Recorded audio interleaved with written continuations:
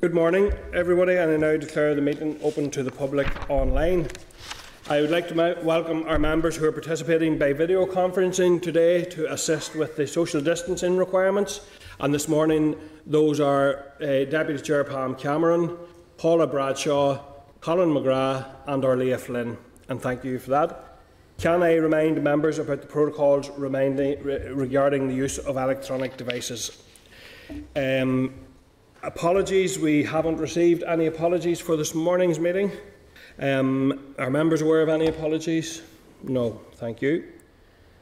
Okay. Uh, in terms of the chairperson's business, I would just like to, on behalf of the committee, thank Alex for his work on this committee and uh, to wish him well on any future committees that he's taken part in. Um, we all wish you the best, Alex, in that. I also want to uh, mention that that we have a number of MLAs at this point who are self-isolating, including our own Deputy Chair Pam Cameron um, and, and the Minister are self-isolating as a result of having received uh, through the contact tracing app notification of a close contact. I want to wish all those who are impacted by that well over the over the days ahead, and it's it's a worrying time for you all. But to wish you well, but also to just indicate that it does demonstrate the impact and the benefit of the Stop COVID app, and just to appeal to everyone who hasn't out there in the public downloaded that app to please do so because it does help to identify when you're in contact with a, with a close case.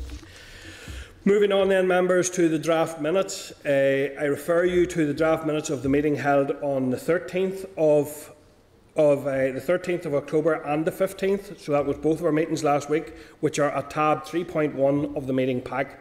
Are members content with those minutes? Yeah, thank you, members. There are two matters arising from the minutes. The first one is the committee agreed at last week's meeting to forward correspondence from the Committee of Finance to the Department of Health, seeking details on bids submitted to the Department of Finance. Are members content that all financial papers received by the committee be shared with the Committee for Finance to assist with their work on the review of financial processes? Agreed. Members content, thank you.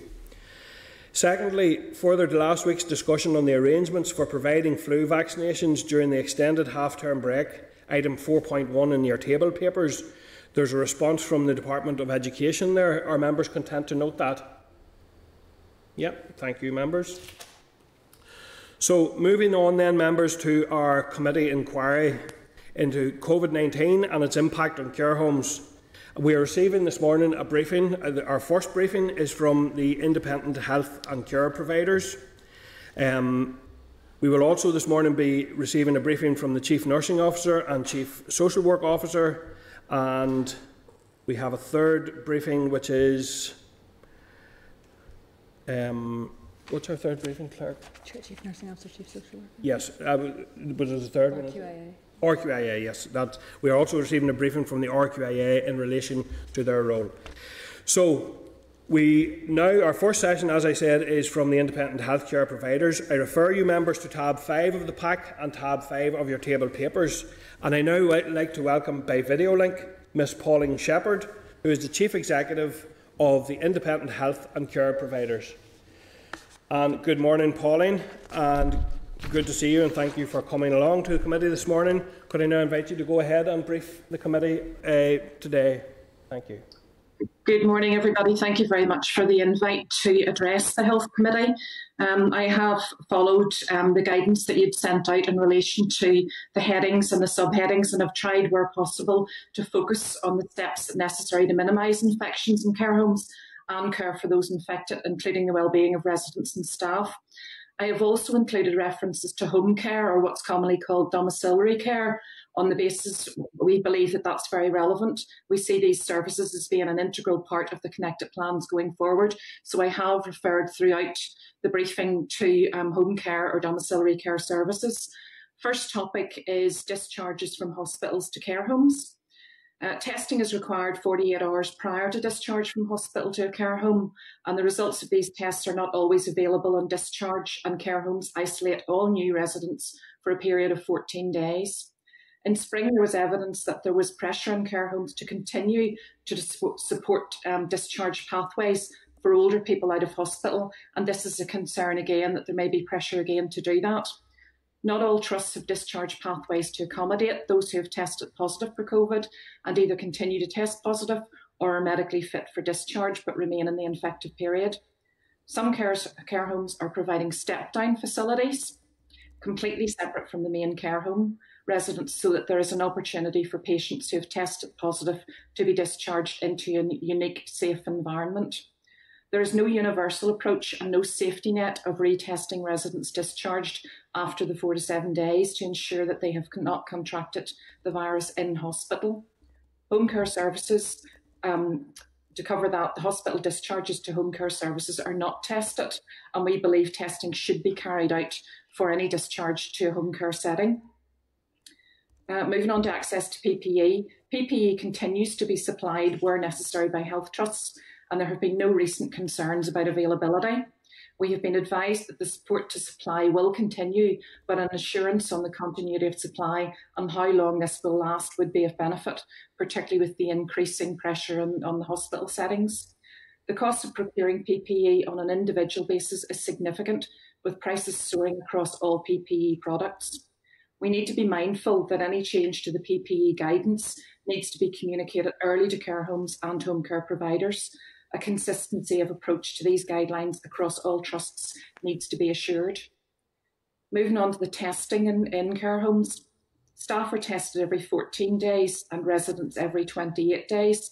These routine tests are carried out by care home staff using the national testing system and there have been considerable problems with delays in results, the IT system, and the courier service.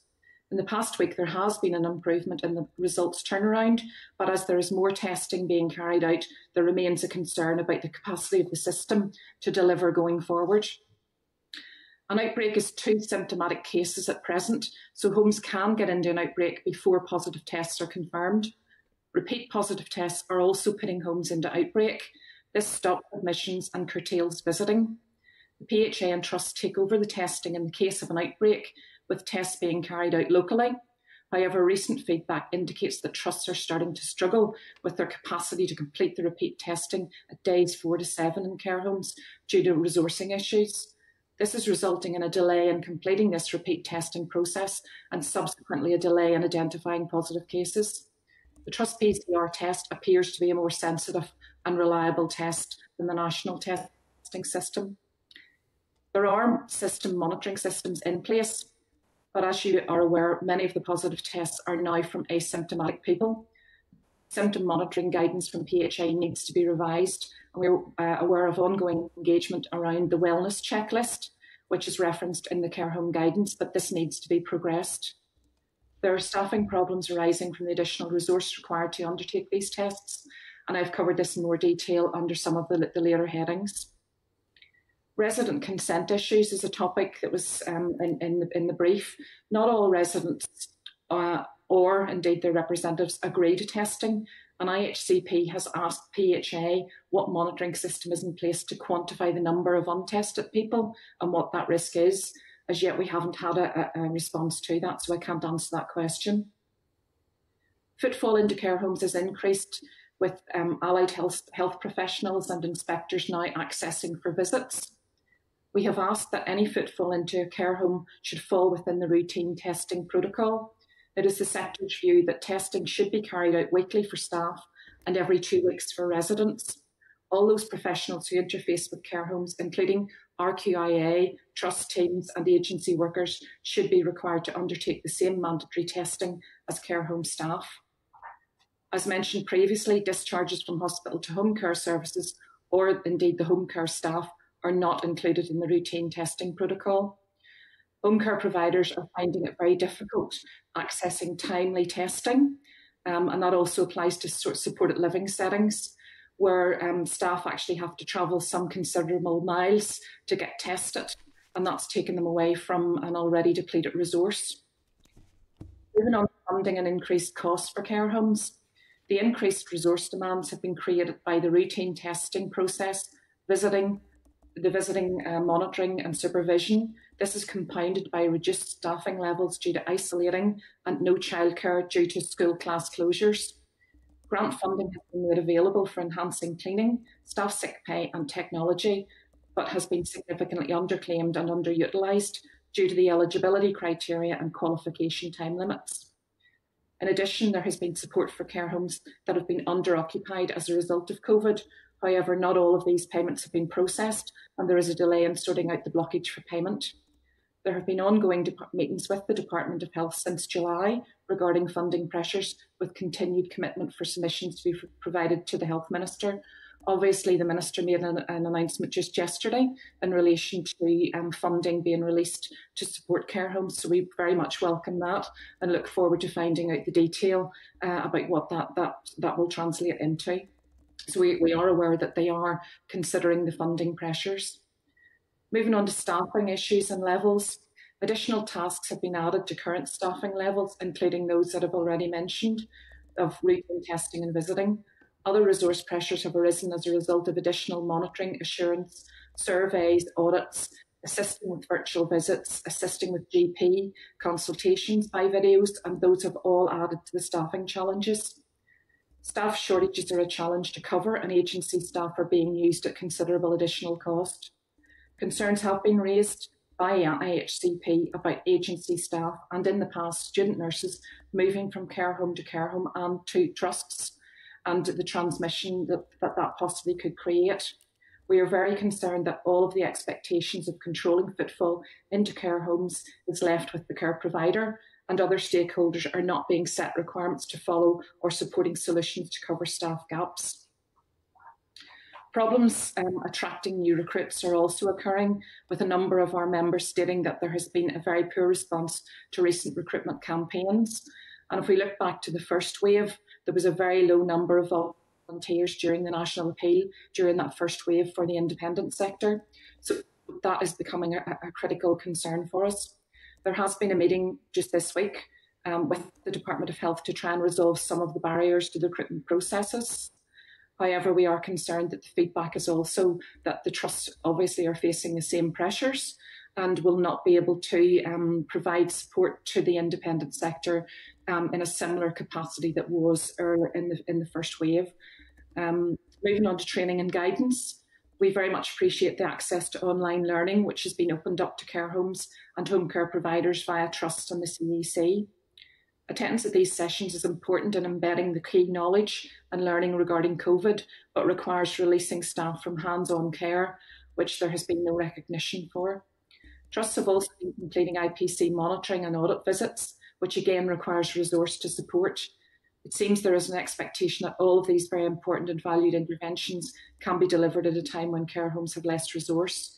And again, I appreciate that the Minister has made an announcement about support for testing and visiting. However, that funding now needs to translate to actual bodies on the ground, and that's where our difficulty is of actually getting the, getting the staff to carry out the tasks. Moving on to staff pay and conditions. Staff terms and conditions vary from employer to employer. Support to top up statutory sick pay has been made available to staff in the home care services, but was limited to a time specific period for care home staff. We've sought to address the inequality between these two workforces and also the inequality of compensating those in care homes that were off in the latter part of the pandemic, but not those at the peak of the pandemic. There has been some recent movement in extending that sick pay scheme for care, care homes going forward. There's considerable pressure and cost to address issues such as those um, staff off isolating or needing to remain at home because um, the children are, are isolating and they've no childcare. Staff have been managing through particularly difficult and challenging times, and many are very tired. This is further impacted by reduced resource Many of the staff who continue to work through the experience of losing multiple residents due to COVID are afraid of going back to that position. And those care homes that have not had that experience are, of, are afraid of being impacted with the second wave.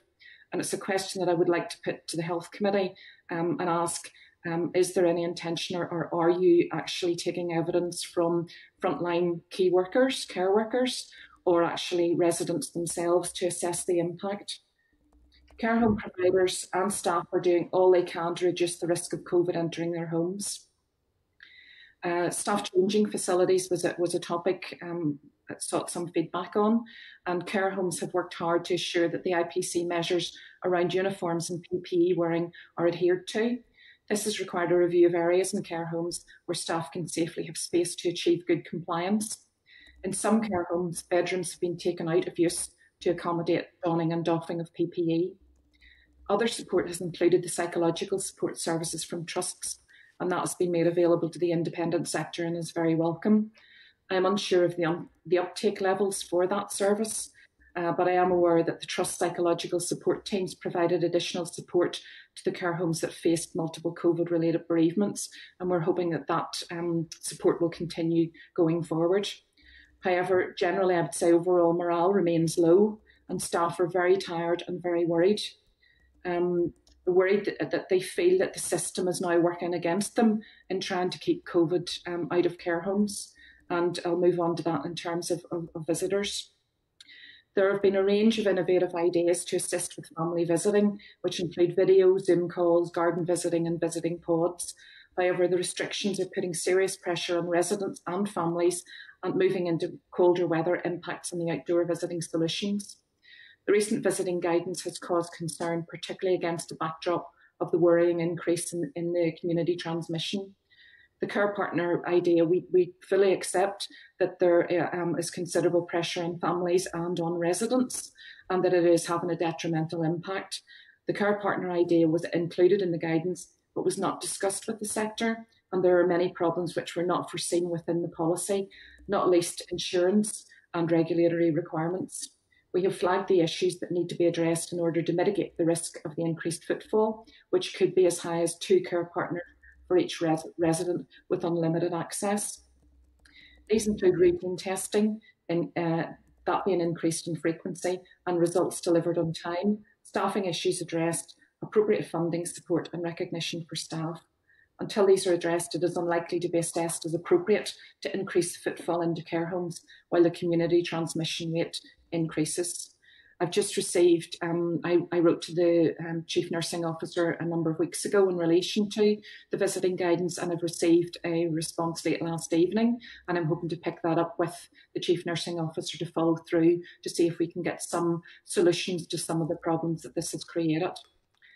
The wider impact of this pandemic on residents has been significant, going much further than visiting restrictions. Normal life in a care home has been greatly impacted by such things as isolation, the additional IPC requirements and reduced services, such as simple things such as podiatry. All of these have an adverse impact on people and even for those not directly impacted by COVID itself. Moving on to regulation, the RQIA have commenced a mixed approach to inspections and have indicated that they are doing this on a pilot basis there are concerns that the virtual visits are actually more resource intensive than on the ground visits because all the documents have to be scanned, uploaded onto a system, and then um, uh, gone through within the virtual visit. There remains a number of avenues for care homes to raise concerns via the PHA and RQIA. However, reports are that access to advice out of hours is challenging. I have been speaking regularly to um, Dr. Tony Stevens, the head of the RQI, um, and um, raised the issue, and that there are plans within the RQIA to move to out of out of normal hours support. And I've also spoken to the PHA late last night, where they are um, trying to extend their support um, into out of office hours as well. There was a, a topic here on HSC run versus the privately run homes. And um, IHCP has been asking for the past many, many years for an independent economic review to be completed to identify the true cost of care. In addition, we have suggested that this could be supported by a financial regulator. On the basis of a financial, a full financial and economic analysis, a full comparison could be carried out between public and private provision of services, and they could be pro- appropriately assessed. But until that's done, um, you know, there is no real assessment measure medical care within care homes, um, the InReach team, support from GPs, advanced care plans. While each trust has a COVID response plan in the first surge, that differed, those differed in composition. The interface with the residents' own GPs, who know them best, was almost non-existent. These COVID response teams seem to have been stepped down in some areas, and the commitment to completing advanced care planning for all residents has not been fully achieved. Again, some trusts have advanced their plans through virtual reviews, and the Northern Health and Social Care Trust has made considerable progress in that area. On preparedness within the health and social care and care home uh, for the, and the future requirements. There has been a myriad of work streams on planning and reviewing, including surge planning, rapid learning, keeping COVID out of care homes, and psychological support for staff. If the care home surge plan is to be the overarching document which connects all stakeholders in a safe and effective management and delivery of care, then there needs to be an urgent commitment from the Department of Health to address the queries we have raised within the surge plan, including the requirements levied on care providers to confirm they are meeting the actions listed. We are concerned that the resourcing and funding to deliver on the surge plan is not in place across all stakeholders. IHCP has continued to emphasise the need to integrate the home care services into the reviews and forward planning. A home care surge plan is not yet in place, and there is a need to utilise the potential capacity of the home care workforce. We are seeing shifts in the landscape from the first wave to the second, and these two areas of care overlap. We're also aware that referral mechanisms to home care services remain at a virtual standstill, and we are aware that there are people in need in their own homes. IHCP members have advised that they are very concerned about the capacity um, to continue to deliver care together with the expectations placed on them, facing the continued increase in COVID transmission. Uh, and in conclusion, um, we have, you know, IHCP has been observing that there is and has been significant activity within many areas of the public HSE system, and much of this has resulted in surveys, guidance which is sometimes contradicting, um, assurance seeking reports, contingency plans, etc., all being targeted at care homes and home care providers. Much of this has resulted in significant work for the independent sector. Much of the work is embarked upon and then seems to fade into the distance. And in several cases, we've been urging for completion without success. This scattergun approach thus leaves the multiple lines of advice, learned best practice, contingent pandemic planning, and effective COVID 19 management fragmented we would wish to see a more targeted, connected approach under the control of a singular body, preferably with a singular lead person on the health and social care side, which we believe would drive a more apt response and better integrate and dovetail the independent sector COVID 19 response with that of our public services and would assure residents and citizens in Northern Ireland that sectors are inextricably linked and working efficiently for best patient outcomes. Um, and that con- concludes my, my brief. Thank you very much. Okay, thank you for that comprehensive brief, Pauline. And just, just to say, in relation to your question about our engagement with families and with workers, we have heard from workers via their unions um, and indeed from residents' families via an informal Zoom. And we have, a sur- have, a, have run a survey which hundred, has had hundreds of responses from workers, managers, families, and residents. I'm just going to check quickly on the line if Paula is there with a question. Paula, do you want to go ahead with a question there? Um, yes, sorry, apologies. I have to go quickly in a few minutes to meet the Communities Minister. My question was really about um, the attitude of, um, of your organisation towards the proposal and the guidance um, for the introduction of care partners. Um, a lot of the residents that we've spoken to were, uh, sorry, relatives of the residents we've spoken to were, were very keen to see these introduced. But when we spoke to the um, union representatives the other day, particularly the Royal College of Nursing, they weren't quite so keen because there isn't a regional framework, um, policies, etc. So just to see what where you are in terms of that proposal, please. Um, we, um, Paula, we have said and confirmed that we're very supportive of trying to um, increase and relaxing visiting, visiting into care homes. We see the need.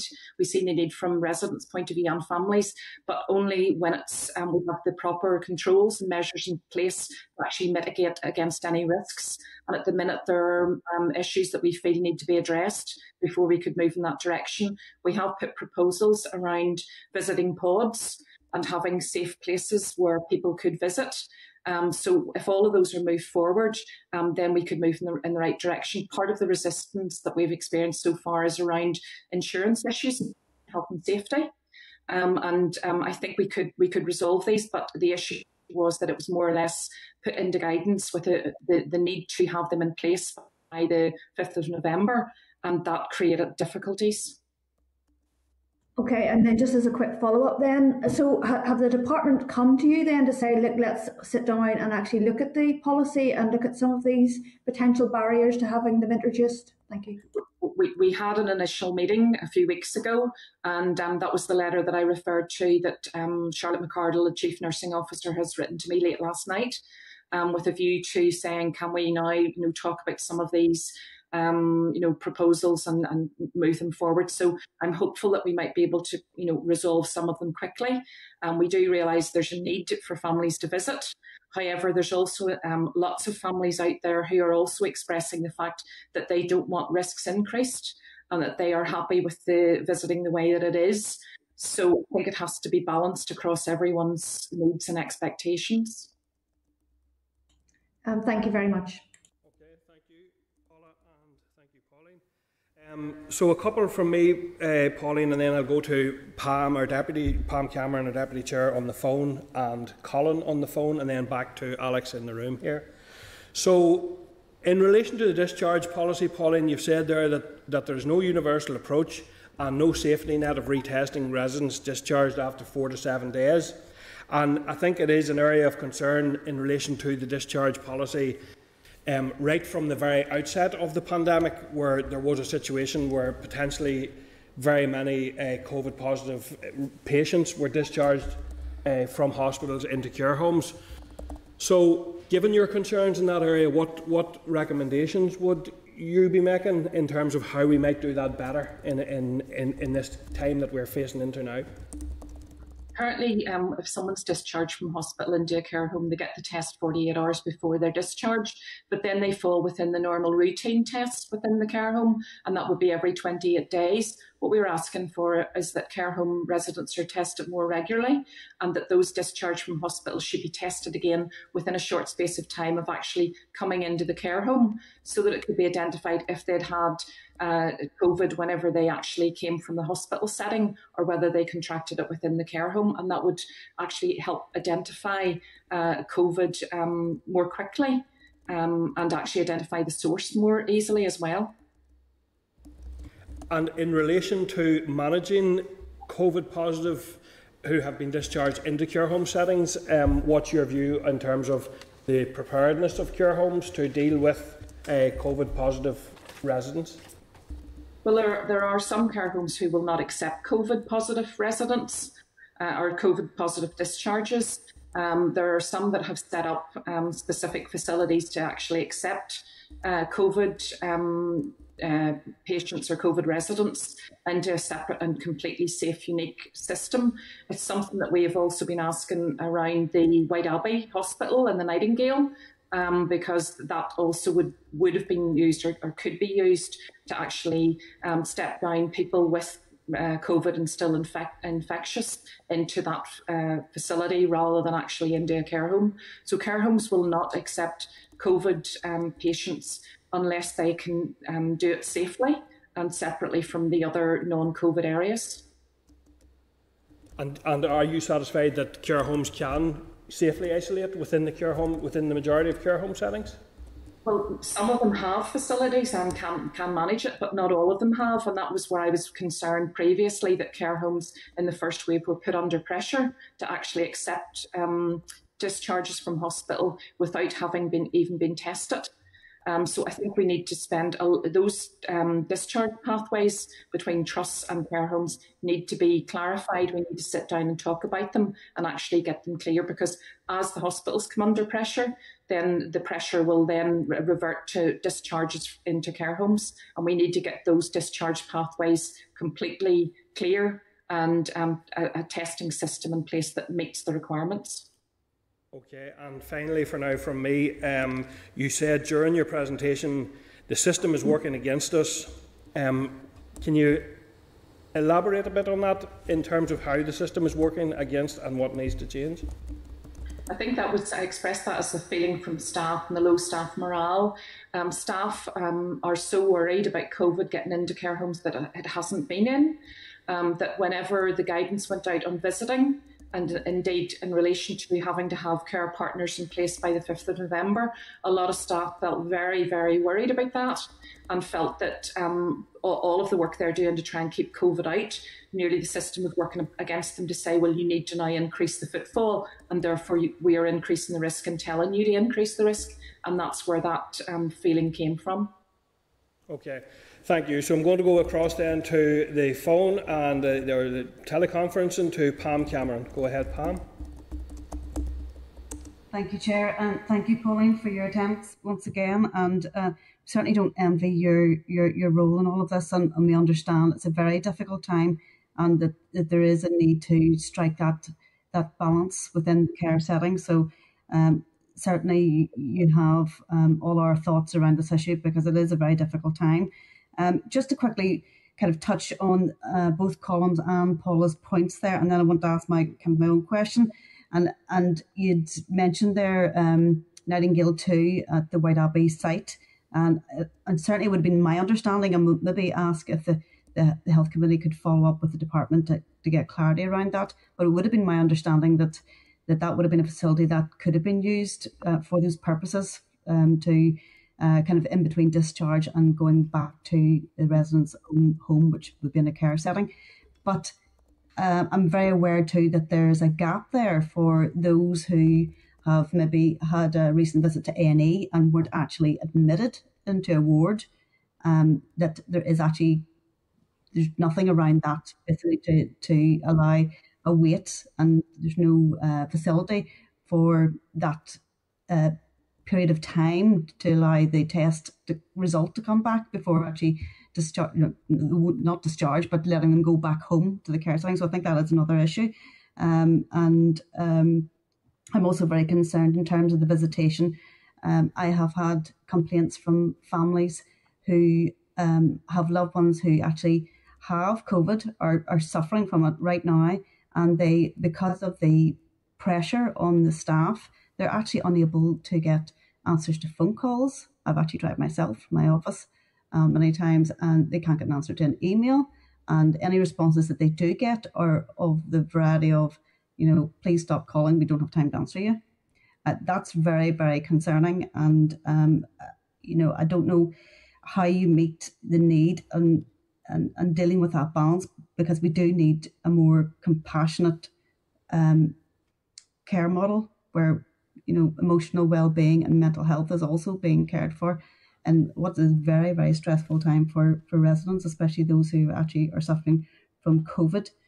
Um, and then my final question to you, Pauline, would be in and around the, the need for increased testing. And it, it seems pretty clear to me that the testing doesn't need to be increased for both residents and staff. Um, and I'm aware that um, that that is a big administrative pressure on the home too, and they may feel that, that that's that they're not able to manage that. So, uh, with that in mind, would um, would you have any um, um, uh, would you have any concerns or worries about um, bringing in mutual aid in order to deal with, say, testing to take that pressure off those care settings? Um, I think Pam, I mean, first on the points in relation to the visiting and the staffing, that's that is our main worry going forward. Our main worry is that um, as test results come back, um, staff um, that are tested positive, they have to go leave the care home.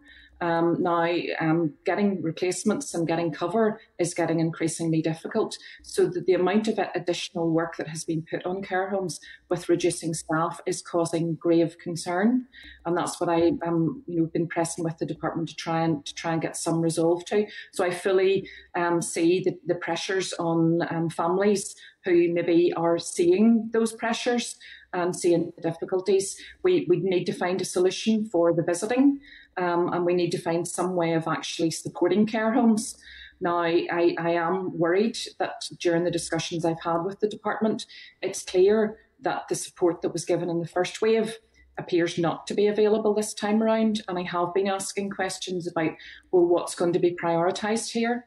If we go back to the same situation we had um, in um, earlier in the first wave, with care homes facing the, the, the, the real you know difficult end of this, where are the resource going to come from to actually support and what other services will be stopped in order to redeploy. So my whole concern is around the redeploying of people to actually manage where this virus presents in its most difficult format to manage. Um, so to me, those are the, those are the very difficult questions, and and and I don't have answers for them, and I'm not sure yet the department has.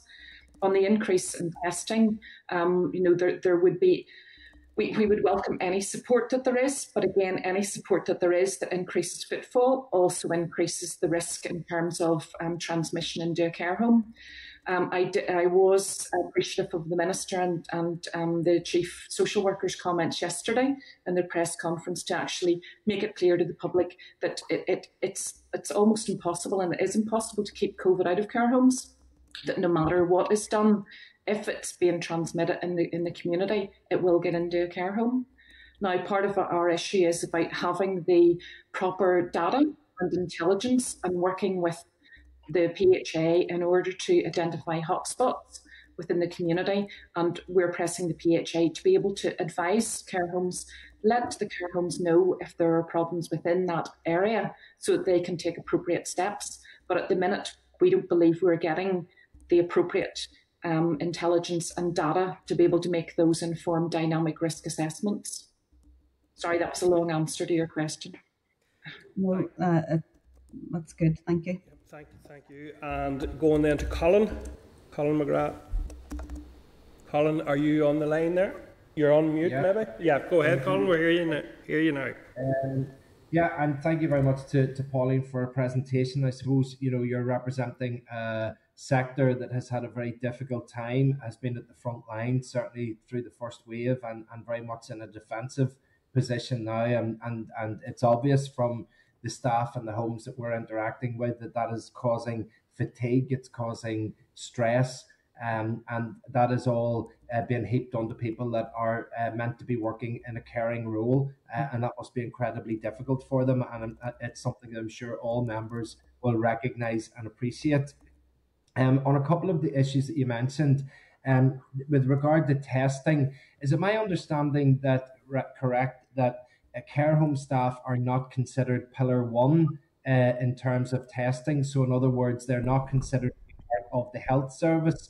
Um, and that in some instances that ca- can cause some additional delay in getting uh, responses. And you know, I think um, if we're to take um, in good faith the, the comments that are made by our health minister and uh, other members of the executive that people that work in the front line in care homes are truly part of this response to COVID. I think we need to include them in that pillar one response so that we can get much quicker, um, you know, turnaround for their test results. Um, I was also interested in what you, you had mentioned about the consistency of PPE is not the same across all the trusts are you finding that any particular trust is being more difficult to, to help secure that PPE than others? Um, anecdotally, from people in the sector, I'm hearing that they're only able to access PPE when they actually need it, which is probably nearly 24 hours too late because they need it whenever they uh, are preparing to go in and do their work. Whereas it's they're only finding out on the ground that they actually need something, then they have to ring up for it, then they're getting it, and there's a delay. Uh, so there seems to be some sort of issue in that. But you did refer to an inconsistency across trusts. So is there a particular trust that we maybe would need to seek out and, and maybe try and get some help from that? And I would just reiterate the remarks about visiting. it, it is something that we shouldn't leave just to the care home sector to try and ca- crack. I think it's something that the entire health and social care family need to work on because I use that word family there is an Article 8 in the European Convention of Rights which says there's a right to family life. And I wonder whenever we have some of our elderly, vulnerable people that are in homes near the very end of their life and we're not able to let their family come in and visit them, whether or not we're actually robbing them of that uh, that UN or EU right that is there in the Convention for uh, Article 8 for a right to family life. Thank you. Okay, Colin. Um, your first issue in the testing in the pillar one, yes, you're right. Um, the care home staff and residents are classed as pillar two and therefore go to the national testing. It's, a, it's your question I've been also been asking to the PHA because I do feel if we were in pillar one, then we might get the test results back more quickly. However, the capacity within pillar one to actually do the testing is in, you know, that may not be there. So we may just shift the, the, the problem into pillar one and the capacity's not there and, uh, you know, the tests aren't. So there is the issue around the resource for actually carry out the te- testing, whether it's in Northern Ireland or at a national level. But yes, I, I agree totally. Um, I do think that um, the home care as well is the critical issue. That home care, um, you know, staff need to be tested as well because why are we testing only in a care home environment and we're not testing people discharged and into their own homes? Uh, on the PPE, the inconsistency that I was referring to wasn't in relation to supply. Um, the supply of PPE is quite, um, you know, it, it, it is continuing. The, the inconsistency is around the guidance that's given, and that we seem to have different trusts um, giving different guidance of what PPE to use when. And we've had that quite right from the beginning. Um, so we need a consistent approach about um, what what the guidance is and when you use particular PPE equipment. So it's the guidance is the inconsistency. On your final one on the visiting, fully accept uh, the the issue in, in terms of you know the, the rights and the human rights uh, on end of life. Um, care homes do allow visitors at end of life, and, and visitors will get in. Um, now, it may be, it may not be completely open, but um, yes, in these circumstances, end of life is an issue where, and there are other issues where, where visitors are allowed in um, for particular circumstances. So it's not a complete lockdown in terms of visits, and it may vary depending on um, a number of factors, being community transmission, if there's already COVID in the care home, and if there's if it's safe that there's enough staff there to actually manage it. So there's a number of variables in that column. And, just to finish with a statement rather than a question, Paul, I don't think it's fair of any of us to, to, I think it's moved almost into a space where there's blame at care homes for not providing the visiting. And I think actually care homes are trying to do what they can to provide a safe environment and they've got concerns. And I think what we need to do is that we all, uh, as a health and social care family, from legislators, ministers, committee, right down to providers and trusts, we need to work together to try and resolve this. And I think if we all come together, we should be able to resolve it. I couldn't agree more, Colin. Thank you. And going then to Alex. Yeah, thank you for um, your presentation. Um, I'm going to touch on staffing levels, but I just want to say I'm a bit concerned that patients coming from hospitals into the, the homes are not getting tested. And I was wondering, um, do you know if those who are doing inspections in the homes are getting tested? Because um, obviously there's there's quite a rise in, in recent in the recent week or so in numbers in the homes, so that that's a concern.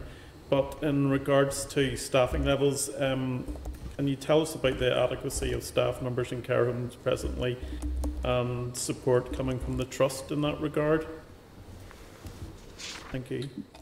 Okay, on the on the first one, Alex, the testing, the, the testing is being carried out um, in, into care homes, but it's not being carried out where there are discharges from the hospital to um, someone's own home, um, where there would be home care, domiciliary care services, and our request is that discharges to people's own homes where their domiciliary care support's given, those people should be tested as well. But all, everyone coming into a care home is tested from hospital 48 hours before or into a care home, they would require a test from, you know, coming from their own home into a care home. So that is being carried out. Um, in relation to the RQIA, we have been asking that um, any uh, footfall into a care home, be it um, an allied health professional, be it an RQIA inspector, uh, any sort of intervention at all coming into care homes, all of those people coming into a care home should fall within routine testing, and we've asked for that as well. Your final one was um, around um, the staffing and the support. Just remind me what the third one was, Alex. It was to do with. Well, it's, it's um, about your staffing numbers and are you getting support from the trust to help with yeah. any shortfall? There have been there have been issues in the last few weeks, um, particularly over weekends, where there are test results have been reported to me coming through to care homes that have required um, that maybe been positive and staff had to then go home. There is difficulty then at a weekend to actually get additional cover. They look for agency staff. If they can't get agency staff, they've sought cover from trusts. But I ha- it has been reported to me in the last few weeks that trusts are now saying that they, they cannot provide staff either, that they're in the same difficulty. So th- there are problems. There there have been problems for a long, long time in terms of nurses um, and I see that, um, you know, continuing, that there has to be a, a, a, staffing level that's set by the RQIA, then that, that has to be met. Now, I have mentioned to Tony Stevens um, the fact that um, inspections um, will be picking up around the shortage of staffing. And in my view, the RQIA then, you know, do have an obligation to flag up where they see pressures. But um, I'm also being told by care homes that there is an increase in the number of non-compliance um, for care homes. Now, if care home managers are trying their best to get staff, staff have had to go home because they're positive, they can't get staff. I'm asking the RQIA, what more can people do if they have sought every route possible? So I do think it's an issue for the RQIA in terms of looking at compliance with staffing. Yeah, that seems to be Thank a big you. issue. Yeah. Okay, Thank you. thank you. Going then to Orlaithí on the phone, then I'll go to Pat and Gerry. And just to advise members that Alan has been on the line there, Alan Chambers has been on the line for some time, so I'll keep an eye out for a hand there up on the screen from Alan. But for now, I'll go back to the phones and Orlaithí Flynn. Orlaithí, are you there? Yes, I am. Thank you, Chair, and thanks, Pauline. Um, I- I'll make a comment and then I'll ask a question. I suppose the most You're a little bit faint. You're a wee bit faint, Orlaithí. If you can up your volume a little. Sorry, is that better? Slightly. It's, it's okay, we're getting you, yeah. Okay. Um, but yes, I suppose it's. I think one of the most worrying things out of your presentation um, is around the issue that the trusts are starting to struggle um, with the repeat um, testing due to possible resourcing um, issues, and that this might be then causing a delay for residents um, getting tested and for identifying, um, you know, residents or staff that that are positive. If that's not being done, then there could be symptomatic positive people that are spreading the virus around the care home. So I think that that is a, a, a worrying um, development if that's the case. And on the, it has been raised to me locally, Pauline, um, around um, even some discrepancies between the Pillar 1 and Pillar 2 um, testing models. And we have had some difficulties, which I've raised with the PHA as well, um, not only just around the time, but around um, discrepancies between some testing positive, then testing negative on um, one model, and then testing positive on another. Um, so I'm happy to share some of that correspondence with you, Pauline, outside of today's meeting. But my question is around um, the issue of the funding. Um, so I was just wondering if you could describe a wee bit more how the additional funding was worked out for the care homes during the first um, surge of COVID 19. It's, it's not a good sign if, if it was significantly underutilised. Um, and I'm just conscious that um, how we can support the care homes if there is going to be further funding um, to support them. Is there any processes in place that can try and help the care homes with the applications? Um, and is the biggest financial pressure around the PPE, the um, lower admissions coming in from the hospitals, uh, the staff sickness? Is there there one sort of um, is there one sort of uh, area of concern there um, around the, the care homes finances, or is it a mixture of all of the, all of those things? Thank you, Pauline. Okay, thanks, and thanks for the offer to share that information. It would be useful. Um, on, on trust struggling with um, testing, yes, we are seeing um, that um, the capacity in the last week or so, there have been you know problems with maybe there's been a number of lost tests that have had to be redone. There's certainly um, some cracks showing in the capacity.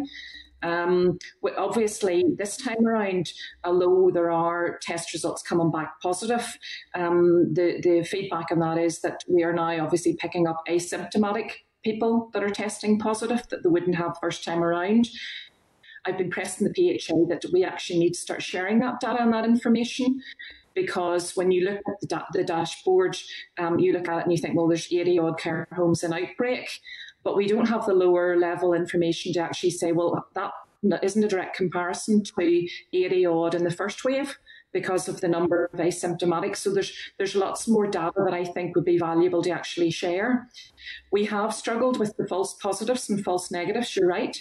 And I do not profess to completely or in any way understand why there are false positives and false negatives. I've been asking the PHA, can they give some guidance from their uh, virologist in terms of why that is and, and try and give some guidance or understanding to care homes about false positives and negatives. We're still awaiting that. But um, at the minute, um, if you get a false positive and a false negative, you know the safety, the safe thing is to do is treat it as positive. Um, so if we can iron some of those issues out, another issue that we've we've some difficulty with is the actual app. And um, the app um, that's notifying people that they've come into contact with, um, I suppose, people that have COVID is not sophisticated enough to actually identify whether you're a member of the public or whether you're a care worker. So it may well be identifying that you've come into contact with somebody, but that's your job to come into contact with somebody. So there's nuances within the app that there are possibly people off at home because they've been notified from the app, but strictly speaking, they don't need to be because they've had full PPE. And they could, so we've we've flagged that up as well. So that's causing some difficulties. Moving on to the question about the funding, um, the funding there was 6.5 million. That was the first funding pot, and that was split um, among all of the care homes. Um, on a basis of their bed their bed numbers, um, split I think it was 20,000, 15,000 and 10,000. There was a second pot of 11.7 million, and that was um, separated out into uh, three discrete areas.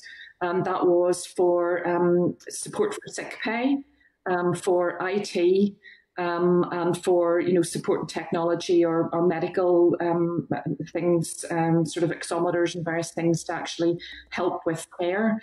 And the, the other one was on enhanced cleaning. The difficulties, and we've flagged it up from the beginning, the difficulties around the claiming. It was a, very bureaucratic. There was a lot of time restrictions in it. The, there was the eligibility was only for a set period of time. Um, there wasn't the flexibility, for example, uh, where we were saying, well, a, a care home, for example, um, didn't need iPads and didn't need the technology to, to help with visits. However, they wanted to create a different access area to their home, which required to put steps and a handrail in to be able to provide, but that wasn't eligible. So there was there was now there was various things that could have been more flexible, but obviously there needs to be governance, there needs to be the controls, and people have in the trust have to work within the parameters that were set for them. The minister did mention yesterday in his briefing about um, actually widening out the eligibility to include uh, possible adaptations to buildings, you know, small changes. So they've taken on board that, and they've also taken on board that the system needs to be streamlined. So the fact that it was underspent did not at all mean that the money wasn't needed. It's just it was impossible to claim all of it because of the the system and the red tape that was put around it. Um, and the biggest issue, I would say, in terms of the you know the, the, staffing and the funding is around actually paying for trying to obtain those resources, be it agency, nurses, whatever, and having to pay agencies extremely high um, fees for actually um, filling posts. And that is something that we've pressed the department and asked a few times about is around capping or some sort of regulation in terms of agencies to actually cap those rates because the amount of money that's gone out on agency to fill um, positions is uh, astronomical. Okay, thank you. Thank you, Pauline. And going then to Pat. Thanks, Chair, and thank you, Pauline. Uh, jumped in with the question I was going to ask you, but I want to ask you about um, uh, patients who are discharged from hospital back into the home care setting. Uh, and I'm wondering, do you have any data on the percentage of domiciliary care workers who may have contracted COVID or who are self isolating as a result of being in close contact? Thanks. Well, I, I don't have the, the, the, data because, I mean, although ICP, we're a representative body, we don't have all um, care homes and all home cares as mem- members. Um, so I wouldn't have the complete data across that. The PHA would have the data, but I do know that from our home care providers, they would say that the um, the infection rate um, for care workers is very low. Um, I know that there's work being carried out at the minute on a rapid learning and surge plan for the home care domiciliary care services, and they are looking at that data. We're trying to feed in and trying to encourage them to use Northern Ireland data rather than the UK wide source because we believe Northern Ireland home care performed considerably better than the, the, the broad home care um, services that they're looking at across the UK. So infection rates have been low within home care um, workers. For that. And just a quick second one. Yeah. Um, uh, we know during the first surge that uh, care homes were being pressurised by trusts to take patients who were COVID positive. Uh, and we know at, at the moment that some patients who are positive are still being discharged back into care homes. Has there been any more pressure exerted from the trusts on the care homes in that regard? I, am aware that um, I have um, a number of members have contacted me, and this has happened at weekends where um, trusts are ringing care homes um, in the last few weekends under serious pressure to discharge people because of the pressure of COVID within the hospitals. Um, I'm aware that um, there have been late night calls to sort of say, look, we really need you to help us. And care homes do always feel that they want to help. However, they also have an obligation to keep the current residents safe. Um, so I, I, I, am worried that as that pressure increases within hospitals, the pressure will increase to actually discharge more people as the capacity in hospitals um, reduces. Um, so that, that that's currently currently where we are. Okay, thank you, thank you, Gerry. Thanks, Chair. Thanks, Pauline. Uh, I suppose obviously the recommendations out of the inquiry uh, are, are essential for, for everybody. Uh, for, for me, I'm quite concerned about the current system of care um, and how it's formulated. Um, I mean, obviously, the term independent care is used, but it's a bit of a misnomer because uh, the care home sector is heavily reliant on trusts and the Department of Health for staff and, and funding and, and whatnot. So, I really want to ask you how safe and sustainable the current model is, in your opinion, especially when we've seen in the last few weeks, uh, Four Seasons, for example, announcing the sale of uh, 42, uh, 42 of its homes. Okay, Gerry. The, the, first point about you know the the independent sector being heavily reliant on, on I suppose trusts, and that has been um, there have been reliant to, to backfill posts and support, but that has only been during the pandemic. And I don't see any country that would expect um, the normal business as usual activity and supporting care homes being able to extend their capacity to cope with the pandemic. Um, likewise, um, could relate that to, well, you know, the health system wasn't and would not be able to cope with um, the pandemic. They've had to rely on um, stopping various um, services to redeploy resources.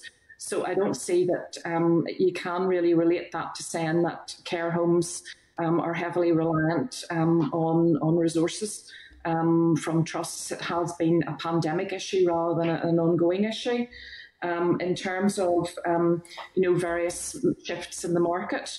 IHCP has been making um, a, a, proposal every year to the Health and Social Care Board around the tariff model and around the need to actually review um, the model, look at looking at the reform of adult social care, and to actually do that independent economic review to, to look at the, the model of care, to look at the funding and actually identify is this fit for purpose going on going forward.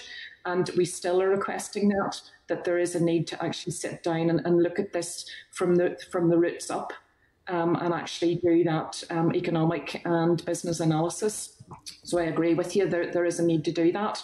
I, I have been saying for many years that the, the system has been underfunded uh, there's been increase in, in pressure in terms of the complexity of care. And I would suggest that it's only because of the pandemic in the last um, matter of months that um, now there is attention being given to actually say we accept the complexity of care in care homes is now um, identified and we need to work enhancing clinical care to go into those care homes to actually support that. Um, so you know that that that needs to be taken forward as well. So um, I'm glad that there has been more attention given to it. Um, but um, I am concerned that it has taken a pandemic to actually identify um, that um, there's the, the, complexity of care within a, within a care home environment. Many years ago, or only a short number of years ago, the people that are being cared for in nursing homes would have been cared for in a, in a hospital setting.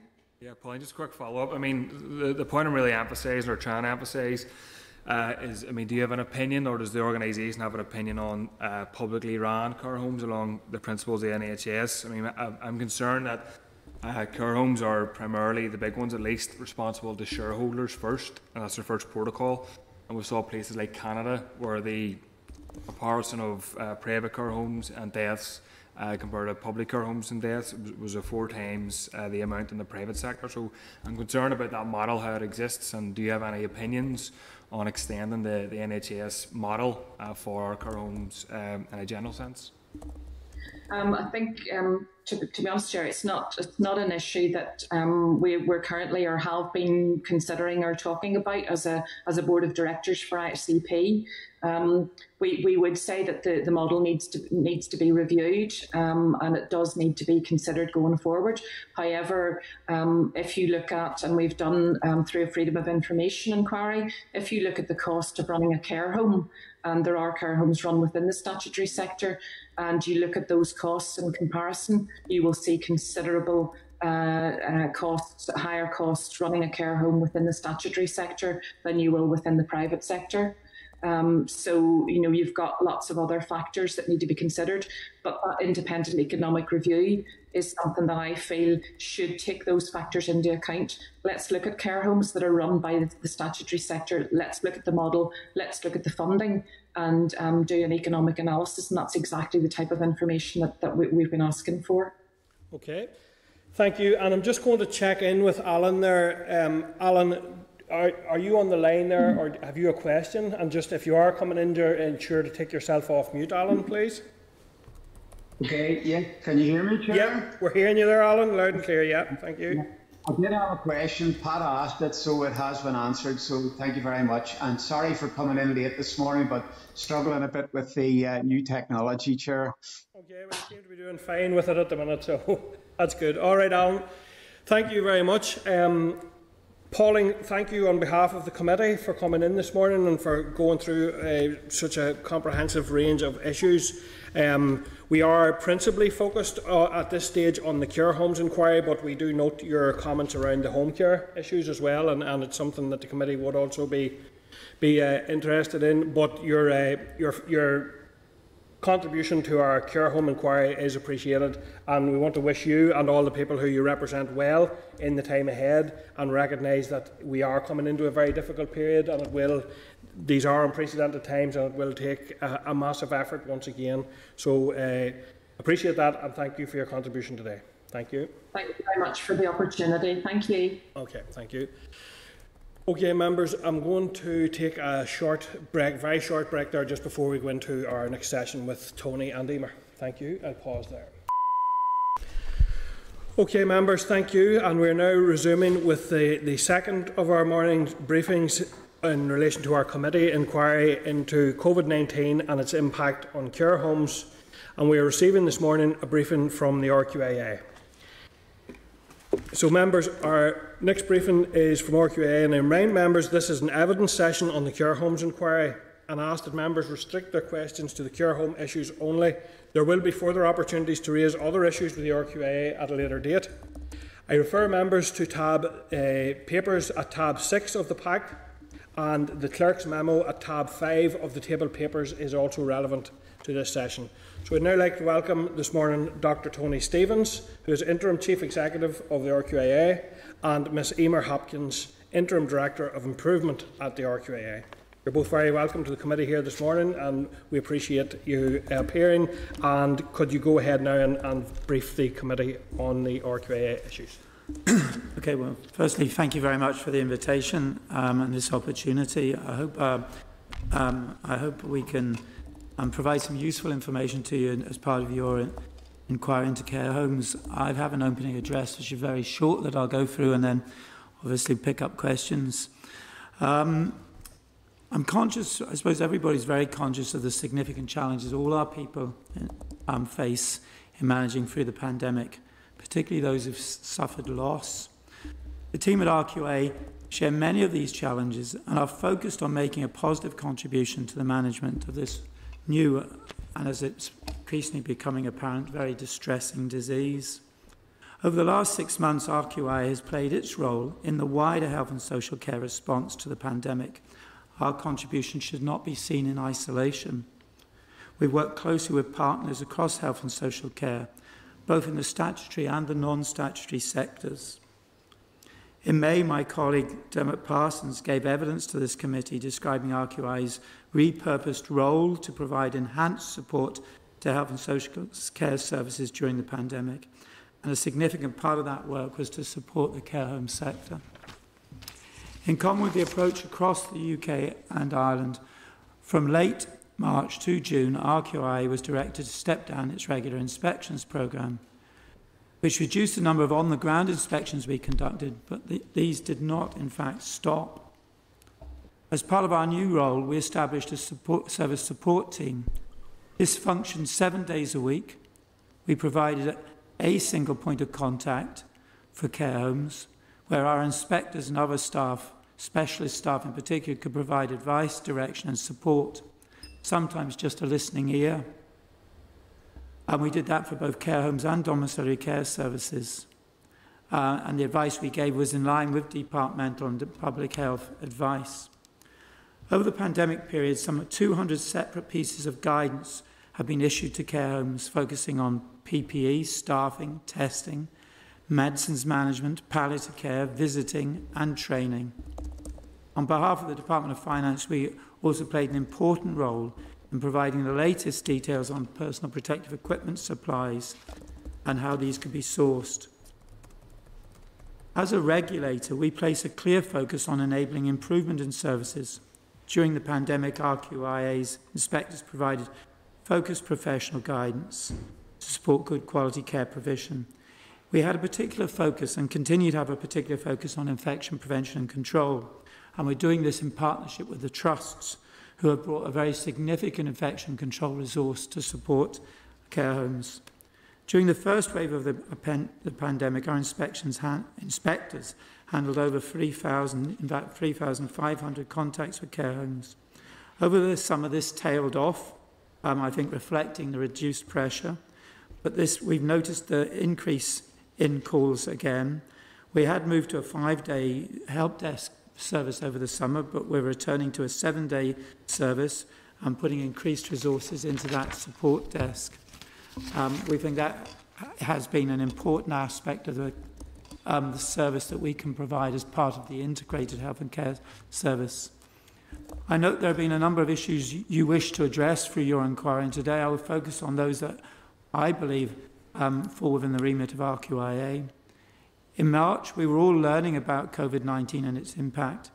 Today, as we are effectively in the second wave of the pandemic, I can talk uh, with a little more experience about how we are applying that learning.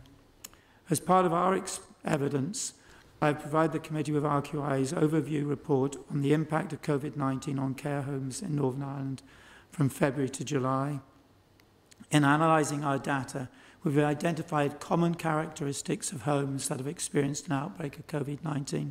This is really important because it helps us to work both with those homes, but also to identify potential homes that may be more at risk of an outbreak in the future and provide additional support to them or help to direct trust support to them.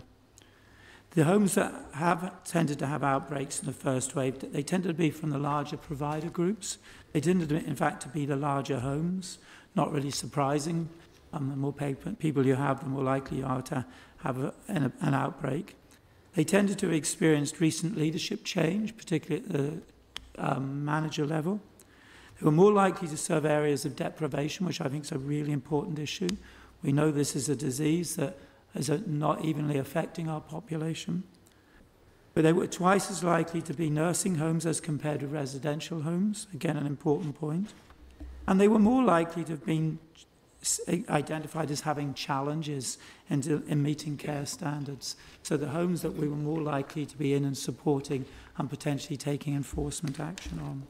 So I think that really important learning that we can apply to the second phase.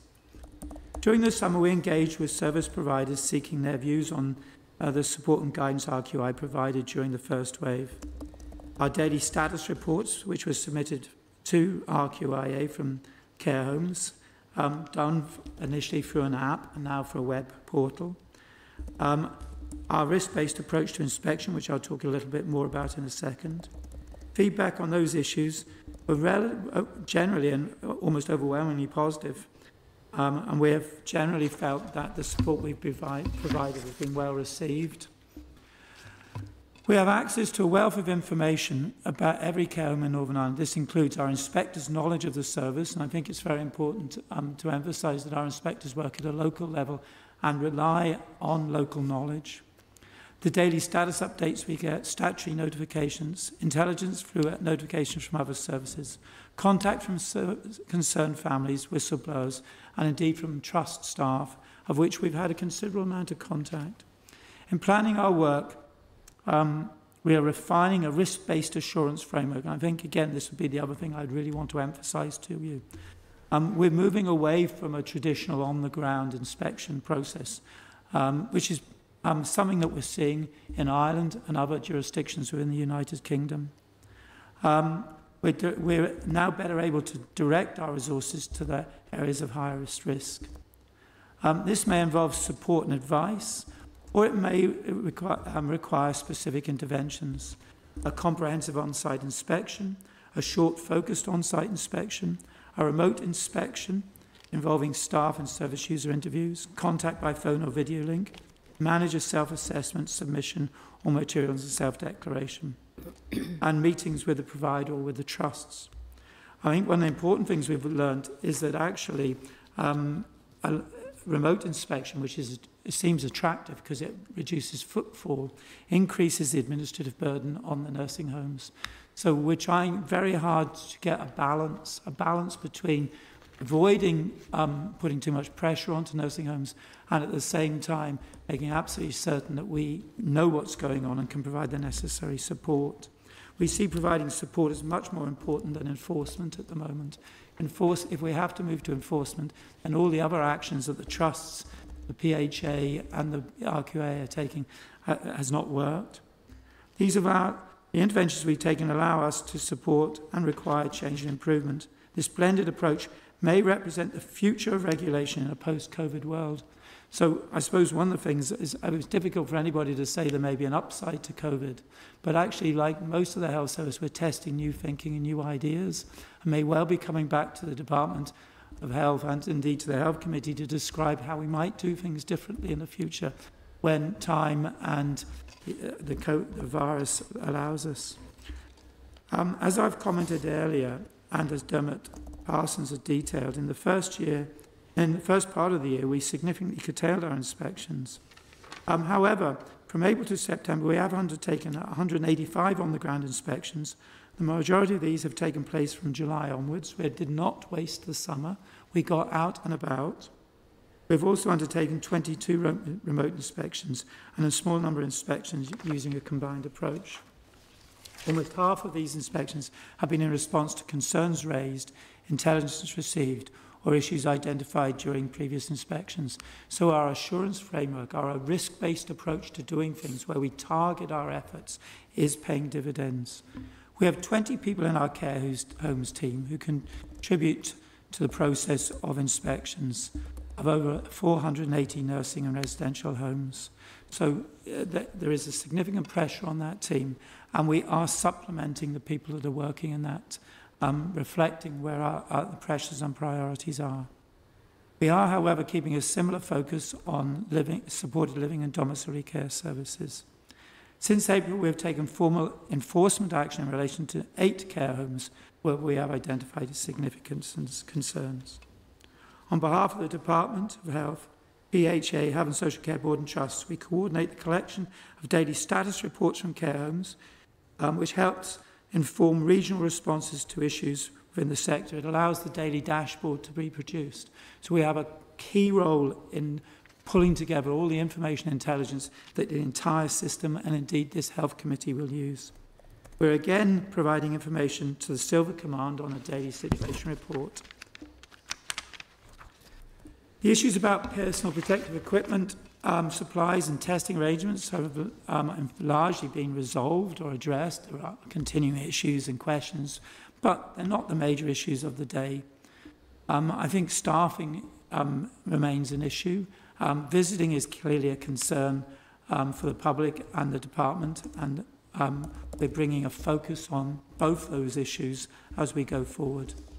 I'm conscious that today there are 80 care homes dealing with an outbreak of COVID-19 or flu-like illness.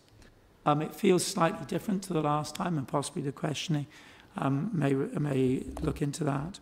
We we'll continue to work with the whole system and as part of the whole system to support homes and prevent, where possible, further outbreaks. Thank you, Chair. Thank you. Um, thank you, Dr. Stevens. So, in relation to the, uh, the repurposing of, of RQIA in the first surge was a very significant issue. Um, and I wonder, based on what you've been saying there, what you have learned from that first period of time and what, what you did well during that period of time and what may not have worked or what indeed failed at that period of time. And are you taking a different approach to inspections in this phase of the COVID 19 surge? well, I think, I think with, I mean, the issues are different. Um, for example, the focus on PPE um, and uh, on supplies generally is not the same one. The issue of funding I think with the, the executive and minister have made significant investments into the sector. So those things have changed. Testing is bringing up a different set of challenges um, than the first time. The first time was to get testing in place. Now testing brings up a different set of challenges, which is about, for example, the number of staff that are, that are sidelined.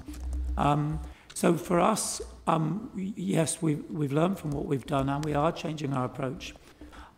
I, I mean, I think uh, I think the repurposing of RQI at the beginning was the right thing to do.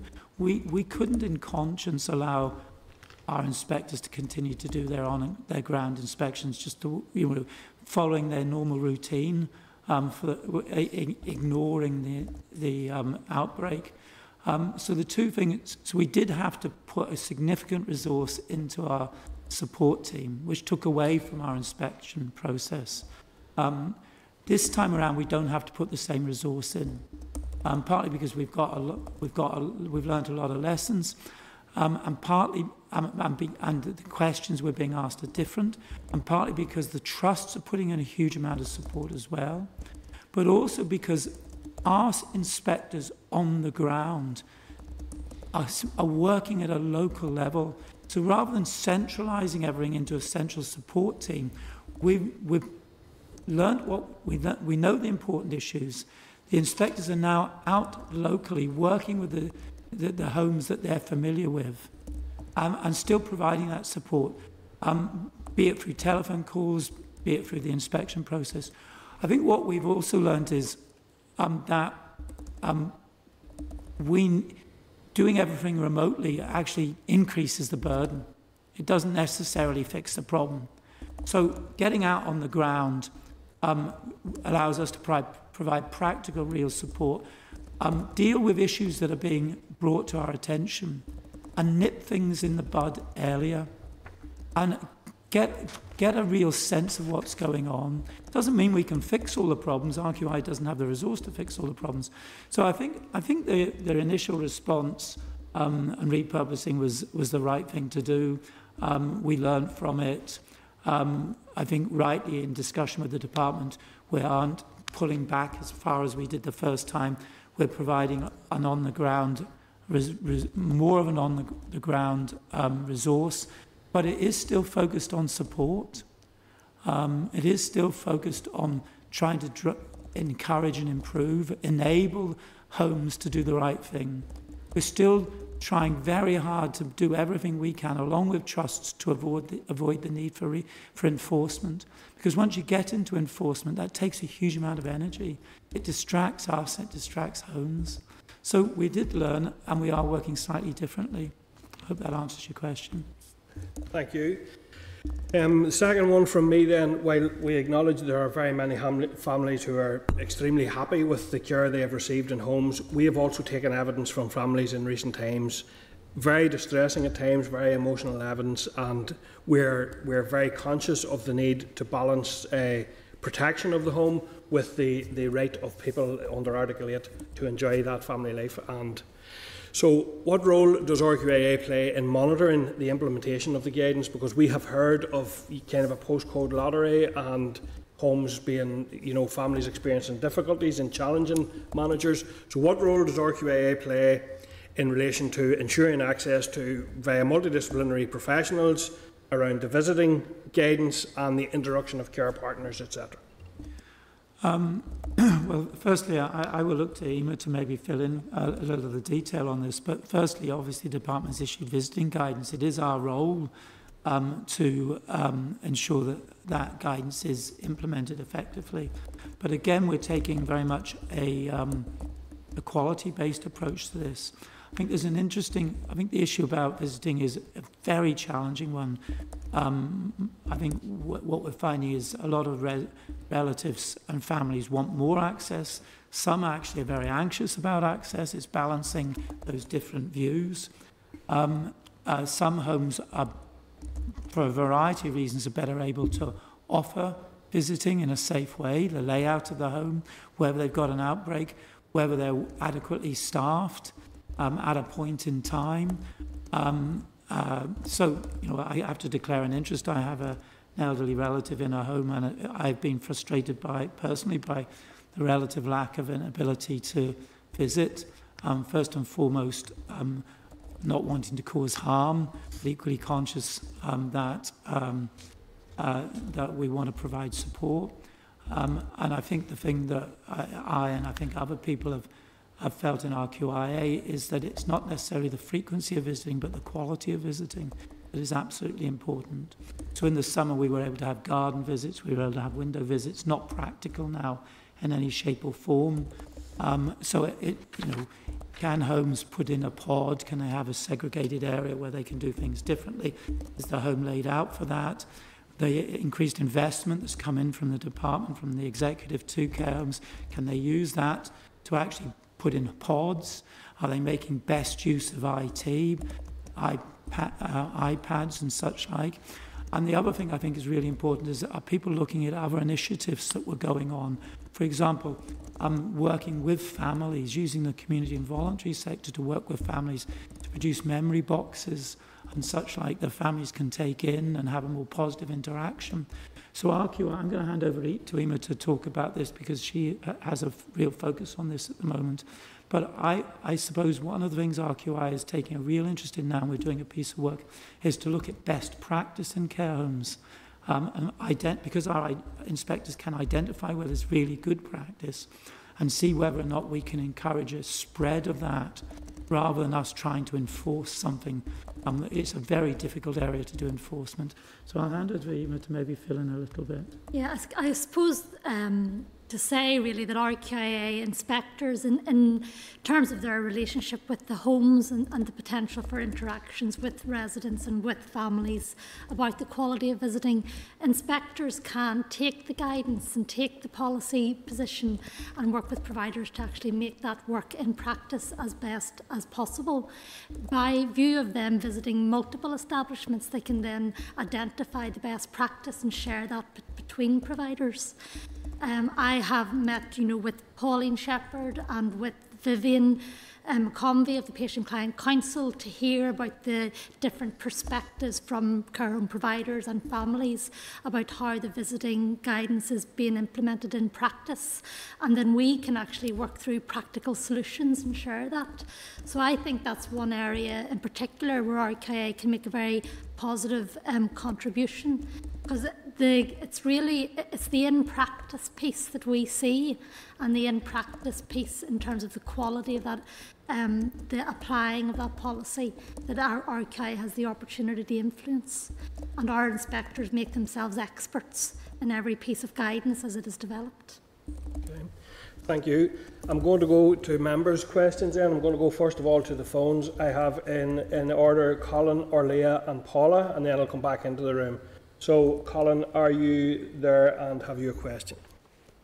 Yes, thank you very much, Stuart. Just a quick question. Um, I was pleased to hear um, the uh, Tony detailing as to there um, almost like a, a demographic of the particular homes that were impacted the last time. And I was just wondering, is that information being taken to sort of profile uh, potential homes at the minute? And then are there special measures that are coming in in the back of that? I think you had mentioned where there'd been leadership change in an area of deprivation uh, twice as likely to be nursing the residential, and, those were causing some challenges. So, is there any profiling going on there to try and target your work to be able to respond and see if that can prevent any further uh, outbreaks during the second wave? Again, I'm going to hand over to Ola or Emer because she's um, um, leading on this piece of work. But we are, the short answer is yes, absolutely.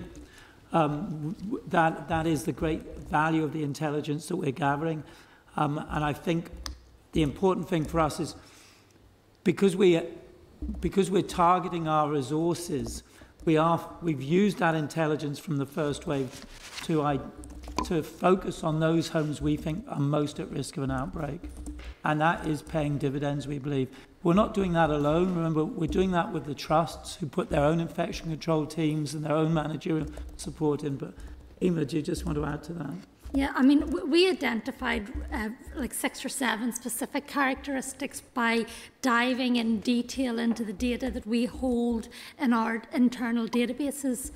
Um, and th these were larger homes run by, sometimes run by larger providers, homes with two or more changes of managers, um, homes that are identified as having more than 40 registered places in particular, um, sometimes older homes that had 10 years since their registration. And you imagine maybe that the infrastructure and the state of those homes um, can be more challenging. And then homes with previous IPC, infection prevention control areas for improvements. Um, so in in developing this sort of profile of a home that might be more likely to experience an outbreak, we were able then to target those homes for specific offers of more detailed preparedness support by our expert inspectors. So that was one thing. The second thing we did is that as we ramped up our inspection programme for on the ground inspections, we were able to visit those homes first and bring them to the for, forefront of our programme so that in, in the gap between the two surges, they had an opportunity to have an improvement piece of work done as part of that inspection. And what we did find was that in that first big batch of inspections during June and July, that those homes were sometimes more likely to have failure to comply notices applied to them. And for us, that uh, was a good test of our model because it meant that the model was actually proving reliable and it was reliably identifying risk. Other things that we have um, used the data for is we have shared that with trust providers and with the um, Department of Health and we have presented that to the directors of the trusts so that it could inform um, how plans would be targeted for the second surge response for the regional surge plan. So our, where we do pieces of work to dive deeply into the information we hold, it's very much sharing that and making sure we're using that collaboratively across the system, not only to target our RQIA's programme of work. Maybe just um, Chair, by way of comment, I think that that is sounds certainly a proactive, uh, very responsive and, and strategic, and I think it's a vast improvement on on the updates that we got earlier in the year. So I thank Tony and Emer for that. Thank you, Chair. Okay, thank you. I'm going then to Paula. Um, thank you very much. Um, thank you for your presentation today. I just wanted to make a comment before asking my question. And I just want to put it on record how disappointing it was after the last RQIA presentation to Health Committee that we then found out that the RQIA board resigned because they were unhappy with the suspension of the um, inspections and I suppose it undermined in some ways the evidence that was given. So I think this morning you have been more candid and open and I appreciate that but I just would like you to note how it um, dented confidence. My question is in relation to the guidance, and uh, it's a particular area I'm looking into, and it's the care partners.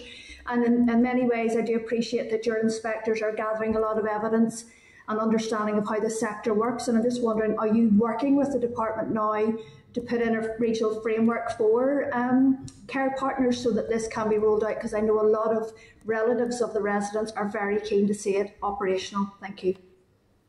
Do you want me to pick it up? And I think we'll, I'll start, but I look to, maybe look to him.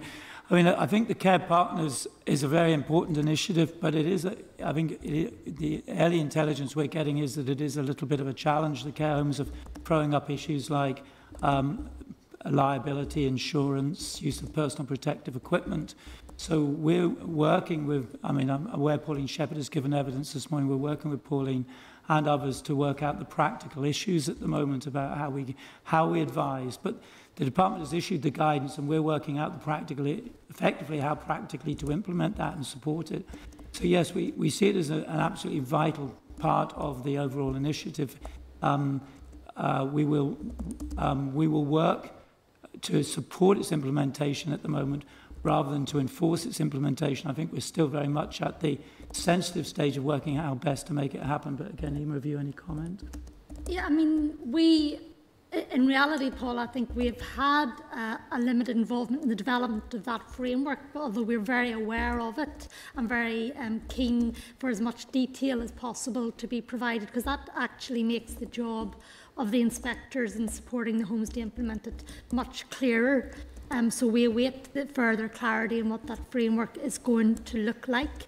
But in the meantime, the principles um, of the care partners, of involving families, of um, protecting the well-being and um, access to the communities under Article 8 for residents is still something that we can actively work on while that framework is being developed. And RKA is involved in regional um, planning groups at the department and is attending a meeting actually this afternoon where this will be one of the, the issues discussed. Um, but uh, we are very much welcome that framework being developed and further clarity on its implementation. And thank you. Just a quick um, follow up then around the um, common features that you said in terms of those care homes that had the outbreaks and unfortunate deaths, and um, then when you started to analyse that.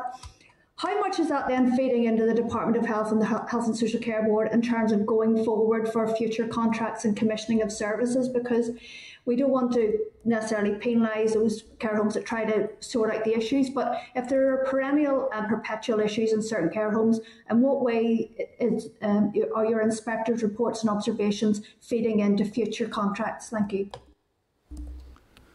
Um, do you want to pick yeah. So the, I guess the, the contracting of care from care homes is really a responsibility for the trusts in the main, though RQIA has regular liaison with the trusts and where we have particular issues or concerns with the quality of care across any provider groups, that's information that is transparently shared with the public as well as with the trusts. Um, so I guess my answer would be that the contracting and commissioning of the care is, is a matter more for the trusts and the Health and Social Care Board. But, but I think e-, equally remember, I, I'll, I mean, the, the issues of registration lie with us. Yeah. And, um, you know, when we're dealing with groups of homes, and we will consider this uh, um, as part of the registration process.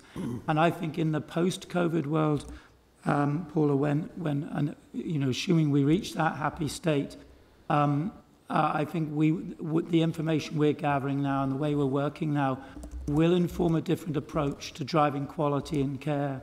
So I, I think you're, you're asking an important question for us, which is um, how we, how, what does regulation look like in the future? How, what would modern 21st century regulation look like if the purpose was to drive up, truly drive up quality rather than enforce basic standards? Um, and if we're doing, if we change our approach to regulation, then it would provide that intelligence network, that basis upon which um, trusts could do smarter commissioning, um, as, as could the department and the, and, and the PHN board. So I think you're touching on a really important issue for us. Thank you. Thank you, Chair. Thank you. And going then to Orlaithí. Um, are you, uh, have you a question there, Orlaithí Flynn? Yes, um, and thank you to um, Tony and Emer. Um, I, my first question was around the so the different approach to the inspections, um, where obviously you're you're identifying then those homes that that are um, high, high risk. How many homes would fall under this fall under that high risk model at present? And then just secondly, just to mention, we done a session earlier in the week with some of the unions, and their feedback, some of their feedback was that the support was was really good, um, from RQIA in, in the first wave, but they did have concerns at the same level of support and contact contact um, isn't necessarily there at present. And my question was around how you can reassure them um, that the same levels of support will be provided coming into the winter months. And I'm just conscious, obviously, in your briefing there, you had mentioned around the five day service was, you know, it was reduced to a five day um, service support over the summer, but that's going to step up to the seven day support. Is there any other uh, sort of practical measures or proactive steps um, outside of that support service team that you can put in place um, just to reassure the, the staff in the homes that the support is there? Thank you. Okay, well, I'll maybe pick the second question up first um, because it's probably the easier question to deal with. Um, the, the, I mean, we, we, we have had the feedback that you've had that, they, that it was valued and was useful. Um, it, I, we, I think, reasonably and necessarily reduced it during the summer. Um, the message is, please, can we have it back? Um, that's the message we've had from Pauline Shepherd. I have a weekly meeting with Pauline to go through her issues. So this week we've literally taken the steps to go back to seven-day working, shift resource. We're stealing resources from a number of places to try and make sure that we don't diminish our inspection team quite to the extent we did the last time. Um, so it is a bit of a balancing act for us. We, um, we, want, we want the support desk to be there available, providing that advice, that friendly ear. We actually feel its role is now part mentoring. It's not merely about providing advice. It is almost a mentoring role, um, and we're encouraging our um, team on the support desk to see it as a mentoring role. Um, but we, we will also be reinforcing with the inspectors who are out on the ground to take that same mentoring and supportive approach. In a previous life, I was also involved in um, setting up the uh, arrangements for psychological support for healthcare workers, and we made sure that it covered the independent sector as well. And I, before, in preparation for coming today, I was just checking um, with colleagues in trusts who have put up the support helpline for staff, and I've been reassured that it is still there and it's still available for independent sector, non-statutory staff. So again, um, Orlaithí, we're working very hard at both the practical support but also the emotional support. So that bit will be there. I, I, I can assure you that as far as we can shift resources to support that, we will. Going back to your first question about high risk, I suppose I should say that all homes are at risk. I mean, I think it's probably wrong for us to identify give you a short list of high risk homes. I mean, I mentioned that we've taken uh, enforcement action on eight homes.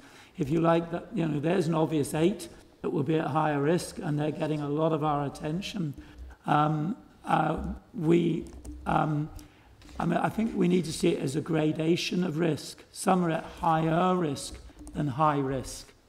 Um, and our job is to get them, get that risk down. So um, I, I, I would re resist the temptation to give you a list of high risk, other than to say that, I mean, we can, you, the information is entirely open about which ones have enforcement action against them. I don't know, Emer, if you want to add anything to that. Yes, I mean, I think it's, it's, we don't categorise it in a binary way as high risk and low risk, but it's a dynamic thing, Orla, because uh, the enforcement action and the status of the homes is constantly changing. So that's a dynamic level of risk that's changing in the system all the time. But I am reassured to be advised by my inspection teams that the in the first um, number of months in that 180 or so inspections that we've done since the pandem pandemic started, that they have now covered those that they deem the highest risk categories and they're moving now into scheduled inspections in the low to medium risk category. Um, so, but as risk changes constantly and any home can become a higher risk at any point in time. Thanks, sir. Thank you. Thank you. Okay, thank you, Orlaithí. And going then back to into the room here to Alex. Thank you. Thank you for your presentation. Um, we've heard concerns that despite guidance to the country, some homes are refusing access to social workers, OTs and podiatrists. what can you do to address that? Is my first question. My second one is how does the RQI engage with families when conducting inspections, and how are families informed of the outcomes? Do you want to pick this Yeah. one? So um, I, I think it's a good. I'll take the family question first, Alex, if I may. Yeah. The we are absolutely fully committed to trying strengthening how families and residents indeed can input into our inspection and have their view and experience reflected in our assurance and reports. I think we recognised, and one of our points of learning, which um, we, we didn't cover in the chair's opening question, was around the fact that our move to support and our reduced number of inspections give us a concern that um, the strength of that um, resident voice and family voice was um, somewhat diminished. And indeed, we took the opportunity during several interviews to call out to the public to keep making contact with RQIA and keep um, if they had any concerns about care. During the inspection process itself, inspectors will engage with uh, residents and ask them questions about their lived experience of um, living in their home. And, and indeed, we'll also engage with other partners, so we'll engage regularly with the Patient Client Council um, to be forwarded any intelligence that they have. We see a great opportunity in this area for RQIA, so we are currently setting up a number of projects to strengthen in future the role of our lay inspectors. And we're also looking to capitalise on the intelligence gained through initiatives such as the 10,000 Voices and the um, care opinion initiatives that are being run through the department because we think um, it, there's so much that an inspector is required to gather during a single inspection. Our view would be relying on that alone uh, is not sufficient to accurately represent the lived experience. So we are going to undertake a number of projects to fully capitalise and exploit on all of the intelligence available to us to give a reflection of what it is like for a person living in a home. we're particular focus, on Alex, on, on, on the visiting issue at the moment. Yeah. And this, this bit about seeing if we can really test in innovative ideas and good practice because we're all I mean the visiting is not the visiting issue we're never going to meet the demands of, of uh, some families I think we're all, is always going to be a challenge so I think working with families, working with care homes and trying to address that particular issue, I mean, will, by spreading good practice, will be a real focus for us. Okay. Can I just ask a quickie? Um, when you're doing some of your inspections, we Yeah. heard on the previous presentation um, about um, staffing numbers, not being able to meet staffing numbers Yeah. because of COVID, and then trusts not being able to help out because they're having the same problem. Yeah. Nursing homes uh, Yeah. won't get penalised if that problem does arise. Or, I think we would all, what we're looking for is that the nursing homes are managing the problems to the best of their ability and taking every possible practical step that they can take to safeguard the residents in the home. And if that requires interventions at time from RQIA to work with trusts to help make sure that resources targeted to where it's needed. We will do that, but it's it's not always possible. So they won't be penalised if we believe they're acting responsibly and balancing those risks to the best of their ability. okay, thank you. Okay. Thank you. And going into Pat. Okay, thanks, uh, thanks to both of you for coming in. Um, you've readily been able to identify the care homes that would be problematic during Mhm. this uh, pandemic, and I suppose the reason you're able to do that is because they were problematic before the pandemic, Mhm. and unless there are major changes, they're going to continue to be problematic after the pandemic. Uh, and you rightly point out it's usually the, the larger provider groups. It's the homes where there have been frequent changes in leadership or recent changes in leadership uh, and so on. And we know that ourselves from our engagement with RQIA, with stakeholder group, groups and, and with our own, from our own observations. And we know that the care homes that fall into those categories are the homes where there's going to be serious problems with infection control, where there's going to be negligence of residents, where there's going to be abuse of residents, and so on. And coming back to the point you made, Tony, about you know what's quality improvement going to look like in the time ahead, or how do we change this system where the RQIA goes in, uh, makes enforcement notices, the the provider ups its game to reach minimum standards, and then trundles along the bottom uh, for a period of time until it falls below again. The RQIA comes back in again, issues new enforcement uh, notices, and we go on that same cycle. Uh, and, you know, no one really expected this pandemic. We thought uh, epidemics of this nature and viruses of this nature were confined to, to, to Asia. that wasn't going to hit us. Now we know the world is a different place. And the weak link in our care provision is in, uh, is, is, is in these care homes, and particularly the ones who aren't cutting the mustard. And I suppose I'm asking you to outline in the time ahead how are we going to change that? Because if another pandemic arises, we can't allow this same thing, the same system to continue. I mean, we have had some evidence from places like Hong Kong where there have been zero deaths in care homes. And I'm not suggesting for a second that the situation is the same. However, they have uh, properly trained infection controllers who regularly throughout the year have infection simulations and, and drills so that infection control becomes second nature to everyone in the home. So, even in the context of the current pandemic, uh, you know, there, there are measures that can be taken, but I'm more interested about the future and the role that the RQA has in all of that. Thanks. Okay, well, Pat, you raise a, a lot of big issues there. Um, I suppose, I mean, I suppose one of the things is very, it's very difficult. It's difficult to know how well or badly we're doing. Um, but if you...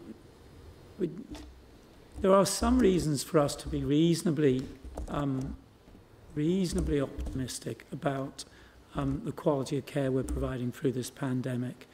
Um, if you look at our, our deaths in care homes, or if we, in more particularly, if we look at excess deaths in care homes, it's an ugly expression.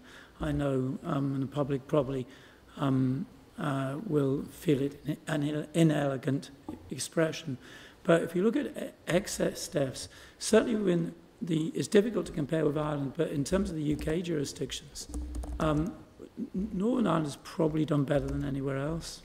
So it does suggest that our collective approach to supporting people in care homes has been reasonably successful. So that, you know, everything from having a health committee at a local level that's taking an interest in it, to a Department of Health with a um, focus on it, to the trusts and RQIA working together with the PHA to provide advice and support and significant support around infection control. Um, so I suppose my first answer to you is um, I, I, can't comment about Hong Kong. If they've, if they've managed to have no deaths in, from COVID in care homes, they've done uh, something amazing, and I, I, must go and find out about it. Um, but it, it, the suggestion that there is something about what we're collectively doing um, that has probably protected our elderly people in care homes at least as well, if not better, than other places on these islands. So, what is it that we're doing, and, and how do we capture that going forward? Um, so, I think it's a big part of your question. And I think it is about the blended approach we're taking, which is that RQI um, moves away from simple enforcement. And it, ne- it, always, it never was about just about enforcement, in fairness, but the I in um, RQIA becomes prominent, the improvement piece that we're working collectively with all parts of the system to drive improvement. Seeing improvement is seeing how we can support the independent sector. Um, um, on an ongoing basis and how that becomes almost a contractual part of what we're doing. So I think there is something about working in a different way. But it's not just us, it will be the trusts and the way they contract, it will be the trust in terms of the services they support, it will be about primary care and some of the fantastic initiatives that were going on before COVID in which we're paying dividends now, like acute care at home, and about anticipatory care initiatives in the Northern Trust area. That all of those need to be scaled up. Um, then I think there's a big issue, and I think that I have to put this back to you collectively as our representatives to decide how we want to fund and contract for care for the elderly and what proportion of our um, spend goes on it. Um, so and that and that's way beyond my pay grade, so I'll park that. But I so I think there is that wider strategic issue, policy issue to consider. And then for us, it is about how we can work in a more collegiate way. That it isn't about setting a contract, leaving the home to get on with delivering the contract, but it is about, you know, it's a continuum that we can, you know, that, that, that we work collectively as, an, as a multidisciplinary team um, to provide support wherever the person's living. I don't know if that's answered your question, but it's my best attempt at it. Well, it, it, doesn't really answer the question, but it's probably a much longer discussion that's required than we have here this morning. But could I just make one final comment? I mean, I, I, I have to say, I, I think there's a lack of ambition when our benchmarking is done across these islands. I mean, if we're going to benchmark against what or how Boris Johnson has dealt with the pandemic, you know, I think we're aiming very low. And I think if we're going to benchmark, we need to use international best practice. Where are the countries that have done the best? The South Koreas, the Vietnams, the Hong Kongs, Taiwans, and so on. And learn from them. They have previous experience with other uh, epidemics such as MERS and SARS and avian flu and all the rest of it. And, and yes, they were prepared for what came this time. And that's the point. So let's learn from them and what they have done rather than benchmarking just across these ends. Because uh, it, it, it's no great encouragement to anybody that we're doing better than England did. And that's a comment, I'm not asking for. Thank you. And going to Gerry, and then I'll come across Alan on the phone after after yeah, we have Gerry. Just, just following that, uh, that point from Pat, um, I mean, 336 excess deaths in care homes. I don't think it could be described as a good result or something uh, positive in any sense. Um, and as Pat sort of indicated, compared to the Tories in Britain, anything will, will look better. Um, and for me, I think people who were failed before COVID were the same ones failed during it, and those figures testament uh, are testament to that.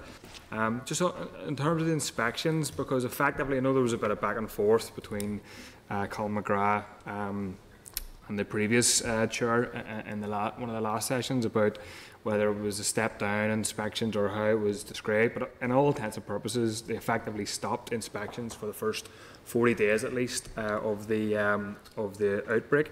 Um, and I think more inspections done in a safe way for staff, obviously, would have been uh, a better uh, approach. Um, so, really, the question I want to ask is uh, since um, Tony, you, you've been in your position now, uh, how many on-site inspections have been carried out because we've been told about uh, phone calls in, previous correspondence between RQIA, but uh, for me, certainly, uh, and, and, what families are asking me is how many uh, on-site inspections uh, have happened, certainly since you have taken your position up.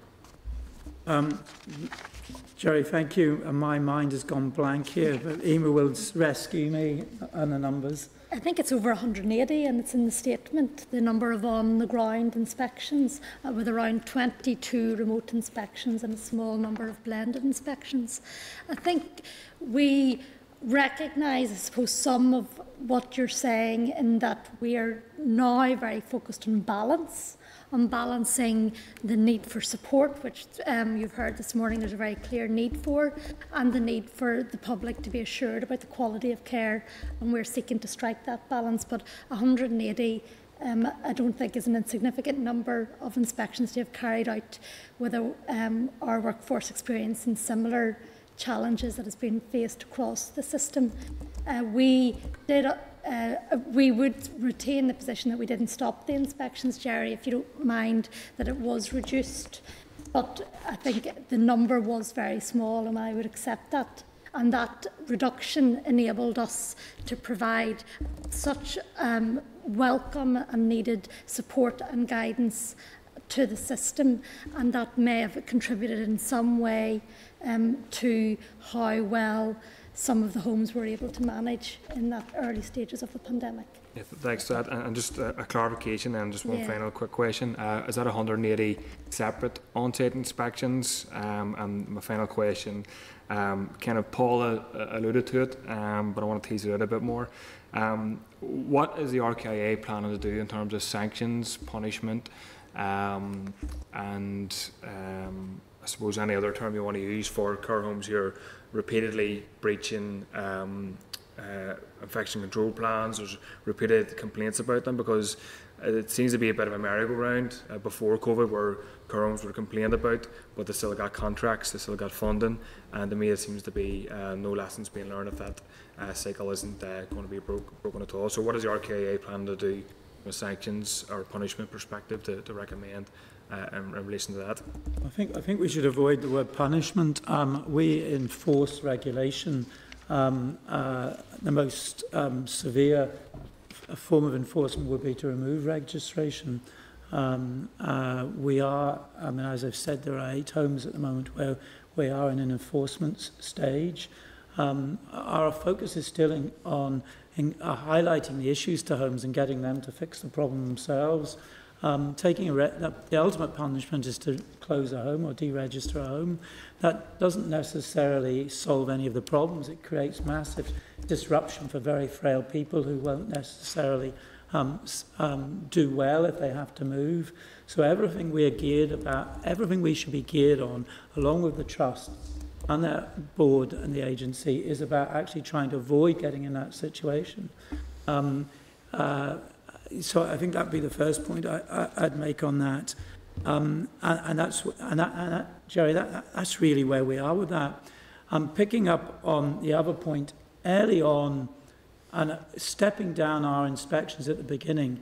I mean, there was a real reason for doing that. There was a real anxiety that us putting inspectors in was more strangers Um, at a time when there were issues with PPE, we didn't know how the disease was transmitted. So it wasn't just about us stopping for no other reason than, than we were rediverting the resources. It was actually about trying to avoid potentially making the situation worse. Now, we rapidly learned, particularly with the use of personal protective equipment, that actually the risk of our staff going in was minimal. And in fact, actually, if they're wearing all the proper protective equipment, the advice, scientific advice we have now is they don't represent a risk. So hence we're going back in with great confidence and the homes are much more comfortable as coming in. So, you know, we're all learning here.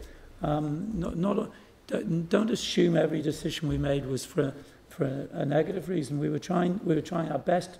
You know, that old adage, first, you know, you know, old, certainly old adage in medicine, if you do nothing else, do no harm. And we were trying very, very hard to, to follow that advice. Okay. Thank you. So I'm going across now to Alan on the phone there. Just check that you're off mute, Alan, and go ahead with your question, please. Thank you, Chair. Can you hear me okay? Yeah, we're hearing you clear.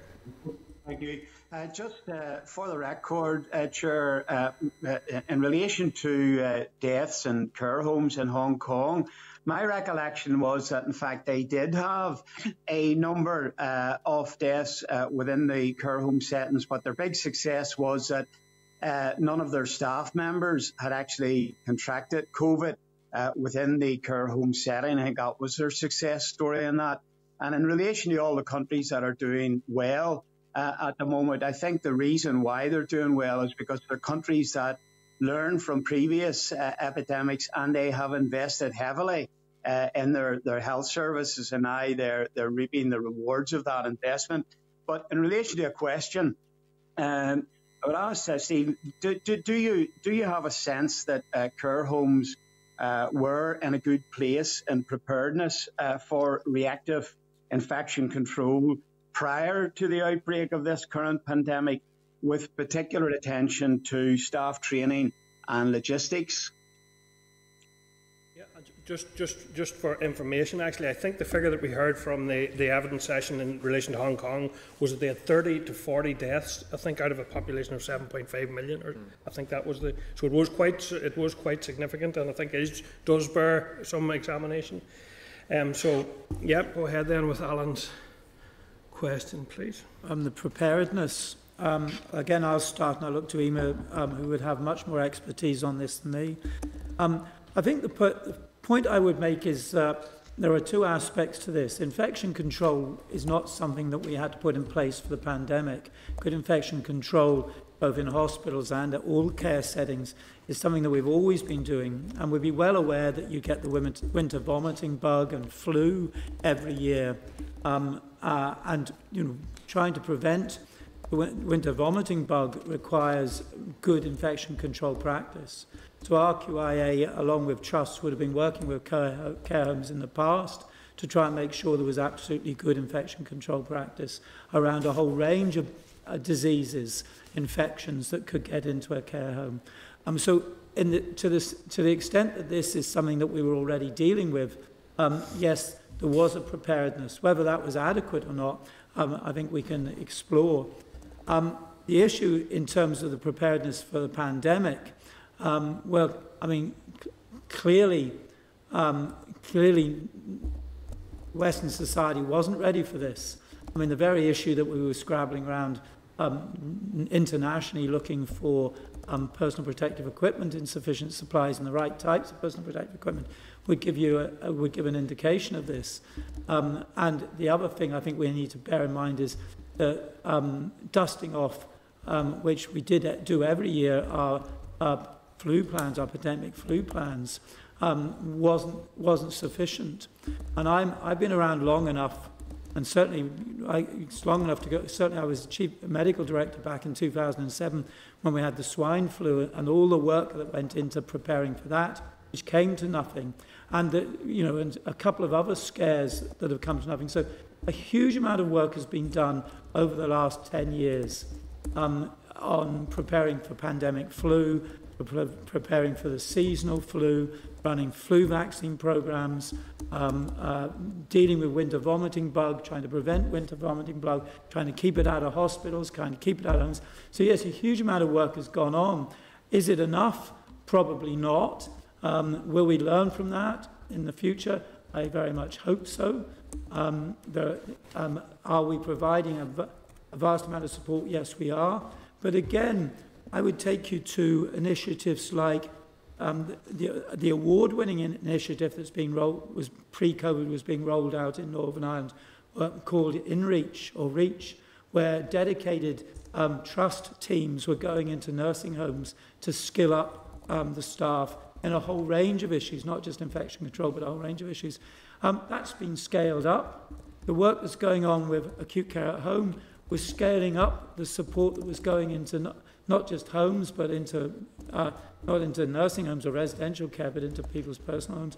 So I think an awful lot was going on. Um, I mean, but still, the scale and scope of um, the coronavirus um, pandemic, I think, has has probably tested us beyond what we were what we were expecting. I don't know, Emer, if you want to add anything to that. I, I think it's difficult to answer, Alan, whether you know we were prepared enough with the fact that we had over three and a half thousand contacts with the services would suggest that we worked together to get prepared very quickly in the early stages. Um, and I think that's the more important question for us is did we do the best we can with what we knew at the time and did we respond quickly? And my view would be that RQIA responded very quickly um, and adapted how it worked and worked with the system and worked with the providers in a very new way. And I think that um, was a positive thing.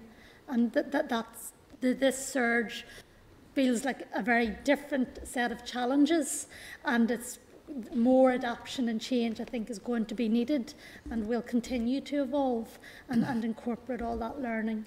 I think that's the best answer I can give.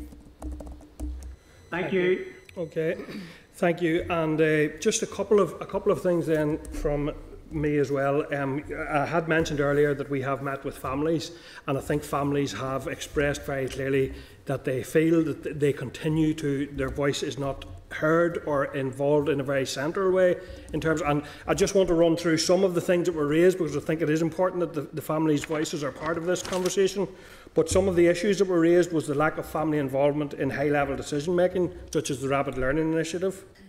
Um, the desire to see families represented on boards, and I think the, the appointment of the board following what happened with the resignation of the board was a missed opportunity to a degree. I'll come back to that in a minute. Um, they said that no one is advocating for families when care homes don't follow the guidance. There's frustration about the lack of information and communication from care homes. There's a general feeling that complaints are often not taken seriously, and a general feeling that care homes are sometimes not being held accountable and relatives feel helpless to challenge. So, my question would be what recourse is available to families to challenge care homes in relation to the application of the guidance? Um, well, they, they can, the families can raise issues with us. They can make formal complaints. They can make a complaint through to the trusts. Um, they can use their public representatives. Um, long experience has told me that families have a, a number of routes in through their representatives. So I think families can. I mean, it's whether families feel empowered to. I think it's the routes to raise and escalate issues are there. I think the issue is do they feel empowered to, and do they actually know how to do it? And I suppose that's a question not just for RQI, but the Patient and Client Council tr and trusts as well.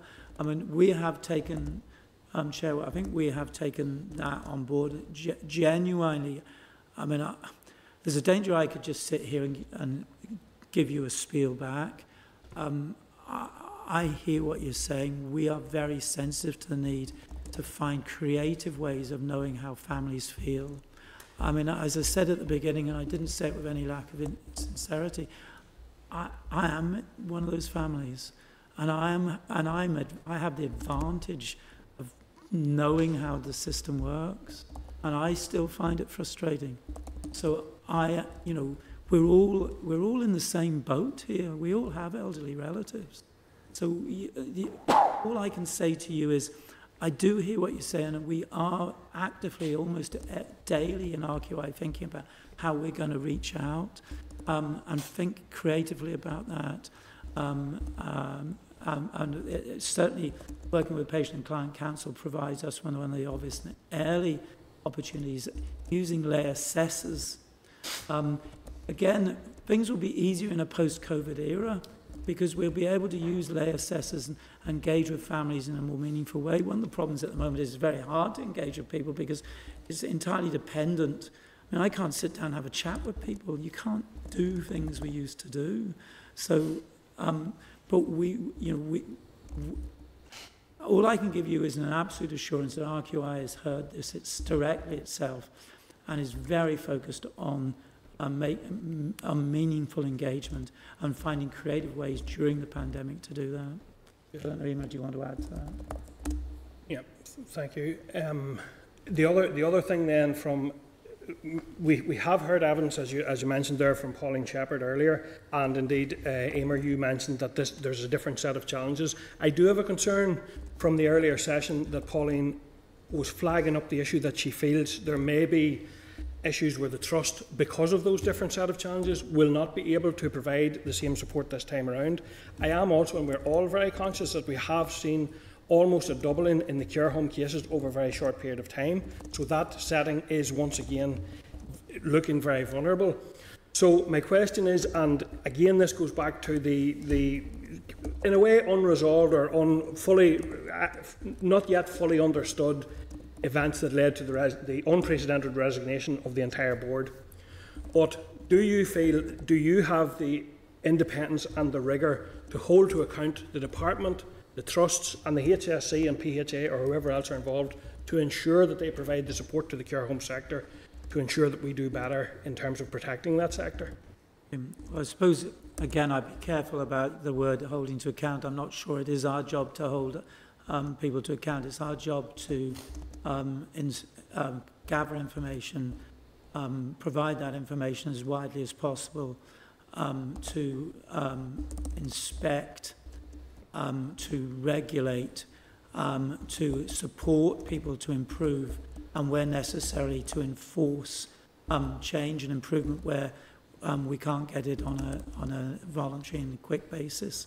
Um, so um, we, I mean, we certainly, I certainly feel no constraints on my independence as the chief executive, interim chief executive of RQIA. Um, uh, uh, we, uh, we have a very small interim board at the moment. I don't think our chair feels any constraints on her independence either. Um, we um, uh, are feeling our way like everybody into how we do our job best. Um, I hope today we've given you some evidence that we're being flexible and creative. Um, I think one of the questions about staffing that Emer answered, which is the you know the worry I think from Alex about whether or not we would come down hard on on um, uh, employers who are, who are struggling to staff their places, their, their homes. No, and we've answered that by saying no. We're looking for people to make honest endeavour, and we will support them. So, um, you know, one RQI is functioning in, properly as an, an independent regulator. Um, we're working very closely with the other regulators on these islands, both in Ireland and in the rest of the UK. We have a close affiliation with Scotland and Ireland because of size, and I think because of similar similarity of approach. Um, so we, we're learning in, from international practice. Um, our job ultimately is to take the guidance and regulation that comes from the department, from, from, from our executive, and ensure that it's implemented. We're doing that as best we can in these strange circumstances, but being flexible. Well, I mean, I mean, one of the expressions I've used internally is We've got hard power and soft power. Our hard power is the ability to regulate. And we can take people's livelihoods away from them. We can close a home. Um, but that is not very useful at the moment. What we've got to maximize is the use of our soft power. And that soft power comes from having credibility, being trusted, having expertise that people value, and being flexible and responsive to what people need. And I hope we've demonstrated today that we're doing that. Okay, thank you. And uh, I suppose a final comment from me, and I was struck by your comment earlier that you, you're seeking to find how you can truly drive up quality. And I think we would all support that drive. I do also take you at your word in terms of you're, trying to see how you can get family voices, because I think that's actually one of the key components of driving up that quality is to get families' voices in a, in a meaningful way. The other, the other leg of that, I think, is, and we have heard earlier in, in this inquiry from trade union representatives, and I think that's the other part of, of cracking that nut, is to, and there has been, I think, quite a bit of engagement with the care home sector, but I think uh, there hasn't been the same potentially level of engagement with the staff representatives via their unions, and that is another very important piece to me of that jigsaw of truly driving up quality. So I just I just will make that as a, as a comment. Um, I do want to thank you both for coming here today and for answering all, all questions from the committee members, and to wish you and all your staff the very best in the very challenging and difficult times which we know we are now in and we are going to have to face over the next period of time. So thank you very much and uh, good luck for the period ahead. Thank you. Thank you Can I wish you well too? Thank you. Yeah, thank you both. Okay, members, I'm going to pause there for a quick comfort break to get the other, or to get the other, uh, the next panel on the line. This is the Northern Ireland Assembly Senate Chamber programme sound. This is the Northern Ireland Assembly Senate Chamber programme sound.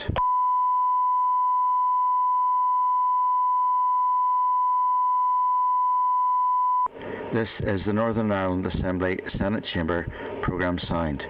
This is the Northern Ireland Assembly Senate Chamber programme sound.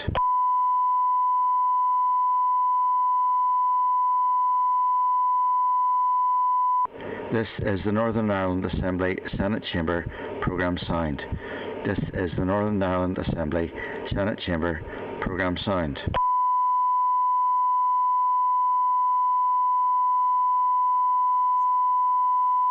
This is the Northern Ireland Assembly Senate Chamber programme sound.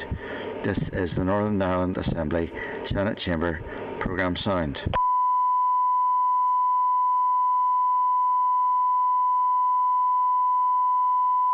This is the Northern Ireland Assembly Senate Chamber Programme Sound. This is the Northern Ireland Assembly Senate Chamber Programme Sound.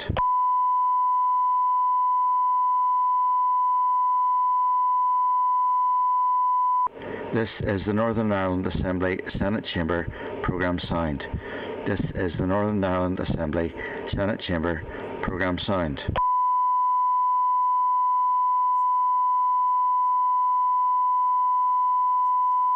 This is the Northern Ireland Assembly Senate Chamber Programme Sound. This is the Northern Ireland Assembly Senate Chamber Programme Sound.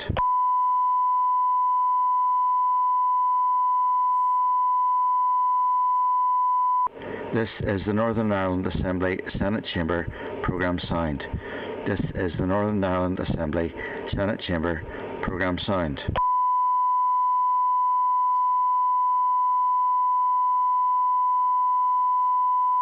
This is the Northern Ireland Assembly Senate Chamber Programme Sound. This is the Northern Ireland Assembly Senate Chamber Programme Sound.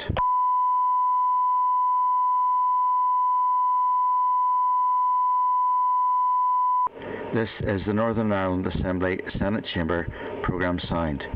This is the Northern Ireland Assembly Senate Chamber Programme Sound.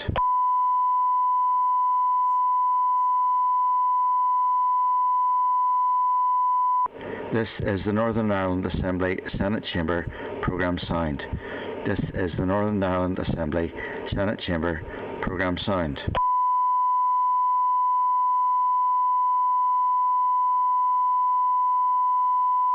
This is the Northern Ireland Assembly Senate Chamber Programme Sound.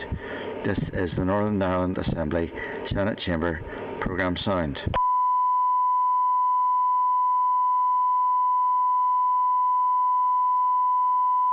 This is the Northern Ireland Assembly Senate Chamber Programme Sound.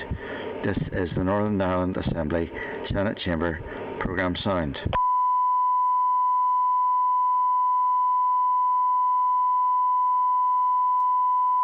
This is the Northern Ireland Assembly Senate Chamber Programme Sound.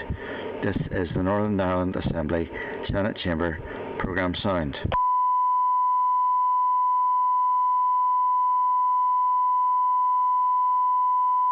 This is the Northern Ireland Assembly Senate Chamber Programme Sound.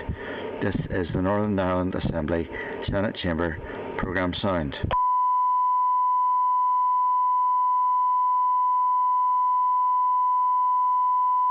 This is the Northern Ireland Assembly Senate Chamber Programme Sound.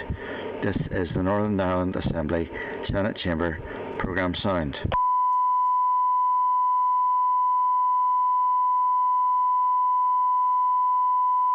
This is the Northern Ireland Assembly Senate Chamber Programme Sound. This is the Northern Ireland Assembly Senate Chamber Programme Sound.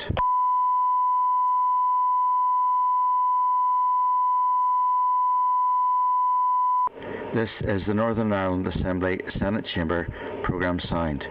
This is the Northern Ireland Assembly Senate Chamber Programme Sound.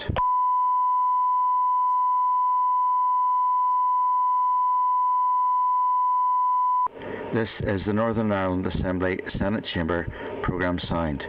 This is the Northern Ireland Assembly Senate Chamber Programme Sound.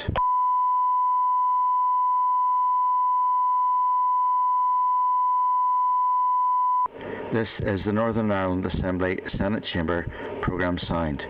This is the Northern Ireland Assembly Senate Chamber Programme Sound.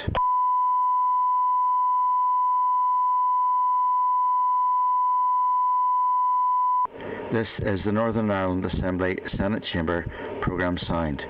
This is the Northern Ireland Assembly Senate Chamber Programme Sound.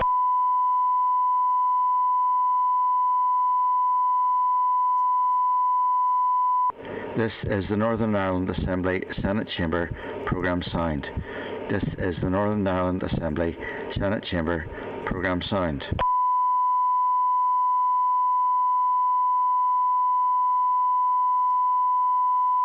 This is the Northern Ireland Assembly Senate Chamber Programme Sound. This is the Northern Ireland Assembly Senate Chamber Programme Sound.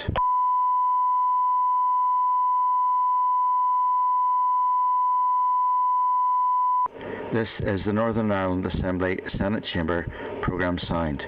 This is the Northern Ireland Assembly Senate Chamber Programme Sound.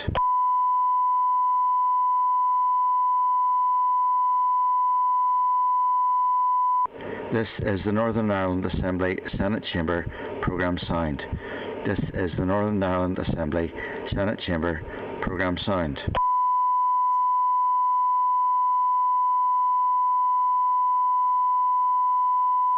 This is the Northern Ireland Assembly Senate Chamber Programme Sound. This is the Northern Ireland Assembly Senate Chamber Programme Sound.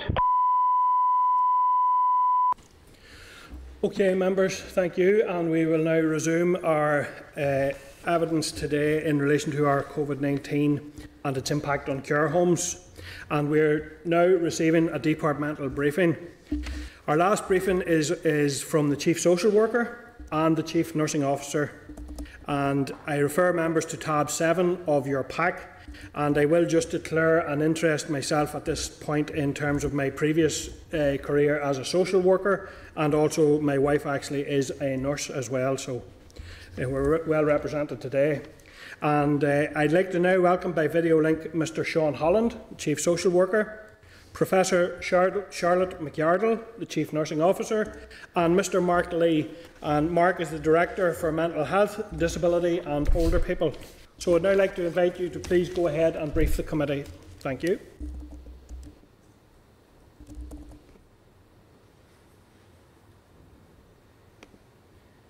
We're not hearing any of you at this stage. We have you on the screen, Mark. Are you doing the briefing, Mark, or the initial briefing, or is that Sean or Charlotte? Could one of you please indicate? And don't forget to take, don't forget to keep your phone on mute when you're not speaking, but also take it off when you're when you're ready to contribute.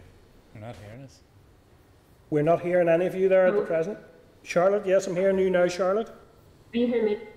Uh, Colm, I was going to start uh, with the opening remarks, but I'm not sure if my colleagues can hear. I can hear you clearly, Charlotte. So um, Okay. we planned, Chair, is that Charlotte would start, then I would uh, uh, augment her comments, and then we'd go for questions. Thank you. Thank you. Okay, Charlotte, Okay. go, go ahead. Thank you. Um, so we, we, we'll try and keep our introductory remarks short um, to allow as much time as possible for uh, questions and, and discussion, Chair. Obviously, the area of care homes illustrates more than anything else the tightrope we have to walk, balancing both the quality of life with protecting life. And, and of course, we want to do everything that we can um, to look after those most vulnerable as safely as we can. And from the beginning, the very beginning of the pandemic, Minister Swann has clearly articulated that supporting the care home sector is an absolute priority both for him and for, for the department and for the health and social care system. So I'd like to begin by showing my appreciation to care home staff uh, for, for the tremendous work that they've done and the dedication and professionalism they've shown uh, during the pandemic. The care home staff have played an exceptional and really essential role in looking after some of the most vulnerable people in our society, and we fully, fully recognise the resilience of the staff working in the care home sector right from the start of, of this pandemic and during what age what is can only be described as, a, as an extremely challenging time. In particular, care home nursing staff uh, have been under unprecedented pressure posed to, them by COVID, uh, by the COVID pandemic, and this has been exacerbated because of shortages of staff uh, due to sickness and, and caring responsibilities. So it is important to acknowledge the personal impacts that COVID has had on staff themselves. And whilst they carry out their duties in a very professional and skilled way, ways, for many it's been at personal cost to them uh, uh, in order to protect their own safety and, and that of their, of their own families. Society has recognised how important nurses and care assistants are in this sector and what a difference they've made to the lives of residents right across the sector, whether it's in uh, older people's care, looking after acute needs, chronic needs, managing pain, looking after people with dementia, learning disabilities, and indeed mental health. And I would really like to take an opportunity to remind everybody working in are truly valued. And they are valued by the public, by their colleagues, by the system, and by the people that, that receive care from them. Uh, and society as a whole, I think, uh, values the contribution that the care staff have made more than ever during 2020. And for sometimes some time now, there has been recognition that the complexity of care provided in care homes has increased greatly over the last few years, but it's been really brought to the fore, I think, by the pandemic and further highlighted both the acuity of care, but also the frailty of people that reside now in our care homes. And for this reason, we've committed to bringing forward, through co-design and co-production with the sector, a framework for enhancing clinical care uh, across all areas of the, the care home sector. This will seek to examine uh, what would enhance nursing, medical and multidisciplinary support, clinical leadership and specialist skills enable the care home sector to do, but particularly doing it in, in partnership with the staff themselves. This will inform our ongoing response to the virus and help others help us to rebuild care home provision for uh, for the longer term. Our aim is to support everyone to have the care that they need in their home, whether it is their family home or a care home. And I want to acknowledge the detrimental impact that COVID has had on residents and their loved ones. Care home residents rightly as, as, as their own home, where they should be able to maintain contact with their families and those who are important to them, as well as their local communities. Probably more than any other area, we're trying to find a balance between protecting life through reducing the transmission of the virus and ensuring a good quality of life has been extremely difficult. Our care home staff have worked hard to protect the residents while maintaining their quality of life, and we, we want to continue to do everything that we can to keep those who are most vulnerable safe. But we also know that keeping older people and the most vulnerable people away from co contact with their loved ones is hugely detrimental to them, not just their physical health, but also their mental health, their emotional well-being, and indeed their human rights. All of us understand the growing number of calls to relax the visiting restrictions, but at the same time, others calling for rings of steel to be put around care homes. But locking residents away from their families and those who are important to them is not something that's sustainable or indeed at all tolerable uh, in our system. So we have to find ways to cr creative ways to support the sector and people to have that contact with their family and friends and to use virtual visiting and other innovative ways to make contact. But that isn't enough. I don't think. I think it needs to be supplemented with face to face visiting, uh, particularly for older people who may be, find the virtual uh, method uh, more difficult. And so the visiting policy does recommend that this is happening weekly and more at the end of life and for those who find themselves requiring uh, palliative care. Whilst recognising that the risk of transmission will be increased, of course, if there's any rise in footfall in care homes, we are also considering a risk-based approach, a sustainable approach to support residents and loved ones to have a meaningful connection, in particularly where isolation is detrimental to residents' physical or their mental health. And many, many families um, and I just got the tail end of, of, of um, your previous session with RQIA. Many families have said about the detrimental effect it's having on, on mental health and emotional well-being. Therefore, we're working with the care sector and families to introduce the concept of care partners. Care partners will have previously played a role in supporting and attending to their relatives' physical or mental health needs and providing specific support and assistance to ensure that communication or other health and social care needs are met care partners will help a resident avoid significant and continued distress. While recognising that the risk of transmission will be increased with the increased footfall to care homes, we are keen to implement this on a risk-based approach, a sustainable approach to support residents and loved ones to have meaningful connections, in particular where isolation is detrimental to their physical and mental health. But in conclusion, I would like to express my sincere gratitude to the independent sector sector staff working at all levels. Key learning from the first surge of the pandemic is the requirement to work together in partnership with the independent sector and, and, and to ensure that the independent sector are, are, are, valued and seen as equal partners in the delivery of health and care. So I'll pass on to Sean for his opening remarks. Thank you. thank you, Charlotte, and thank you, Chair. Um, I won't repeat um, the points that Charlotte's made in relation to uh, our gratitude to care home staff, but I'd certainly like to associate myself with Charlotte's remarks. Particularly, I'd highlight care assistants, um, and I'm sure we'll come to this at some point in the session today. Uh, you can't help but be struck by the fact that these are often people working on minimum wage, uh, and they have turned up throughout the pandemic to do incredible work. So I'd like to associate myself with, with Charlotte's remarks. Um, the debt of gratitude will last long after uh, this pandemic. Unlike uh, GB, Northern Ireland has already an integrated system of health and social care, and I think uh, that that's something that has brought us benefit as we face the challenges of COVID. And I think that certainly lay behind some of the positive points that uh, your previous witness, Tony Stevens, uh, highlighted. There have already been close relationships between the independent sector and providers of adult social care and trusts, uh, and these have, through the pandemic, been built on and strengthened further. From March 2020, we've taken and continue to take a wide range of measures to help protect both staff and residents in care homes, and I'll now try and touch briefly on those. Um, firstly, funding initiatives, and I have to apologise, I'm conscious that since we provided draft copies of our opening remarks to the committee, the Minister has announced a substantial package of additional funding to care homes, uh, which I'll now review.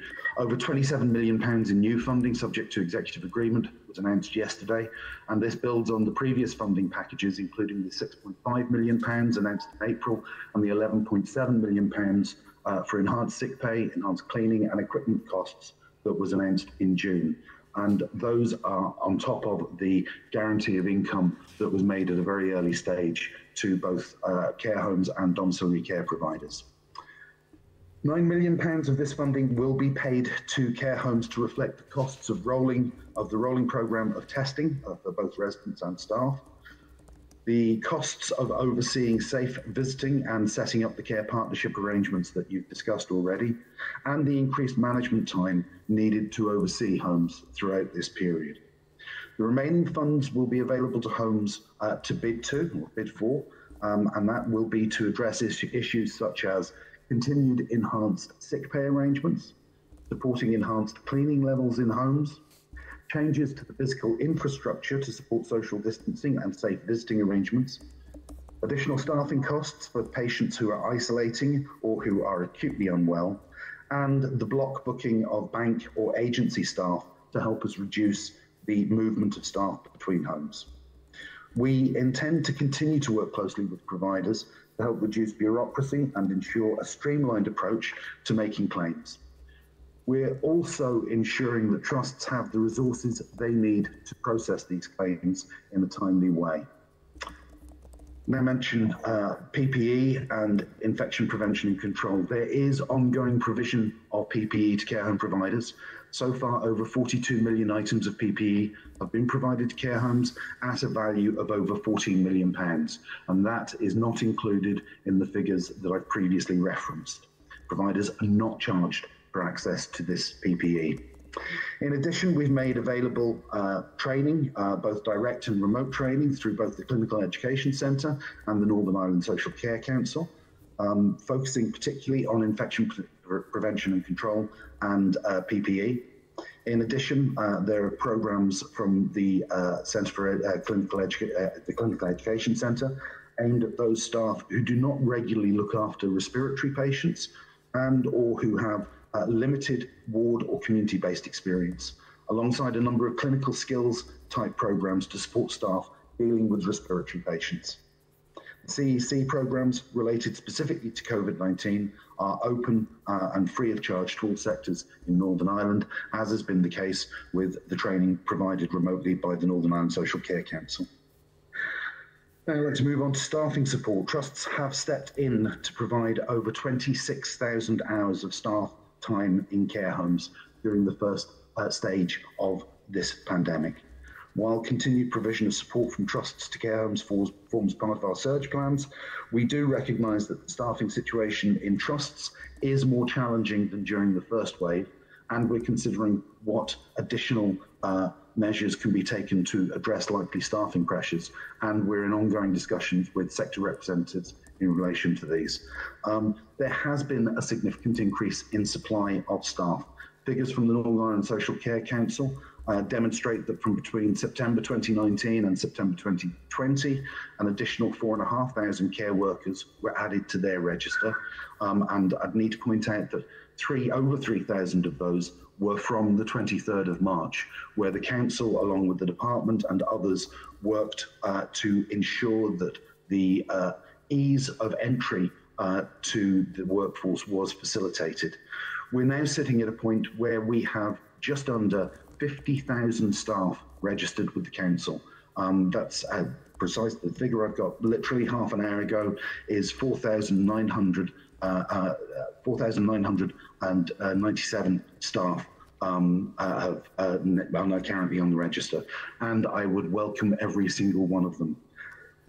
Um, however, we know that significant workforce pressures remain, and that's particularly the case when it comes to accessing nursing staff. And I would envisage that will be one of the major challenges we face going forward.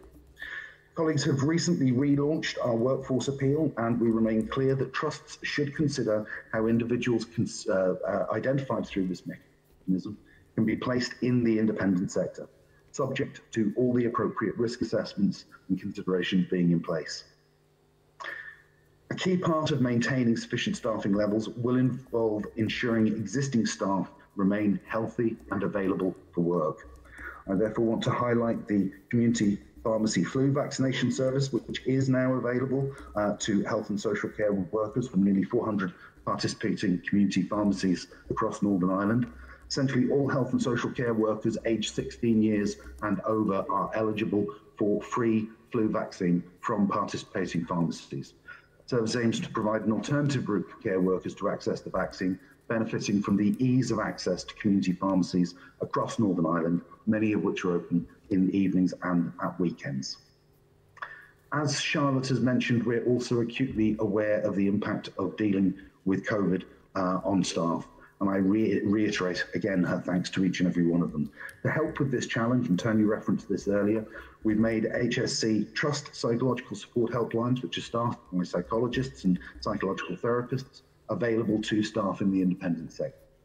In addition, we've also been pleased to support the initiative to create rainbow rooms in care homes, providing space where care home staff can uh, take some space out from the pressures that they're experiencing dealing with COVID.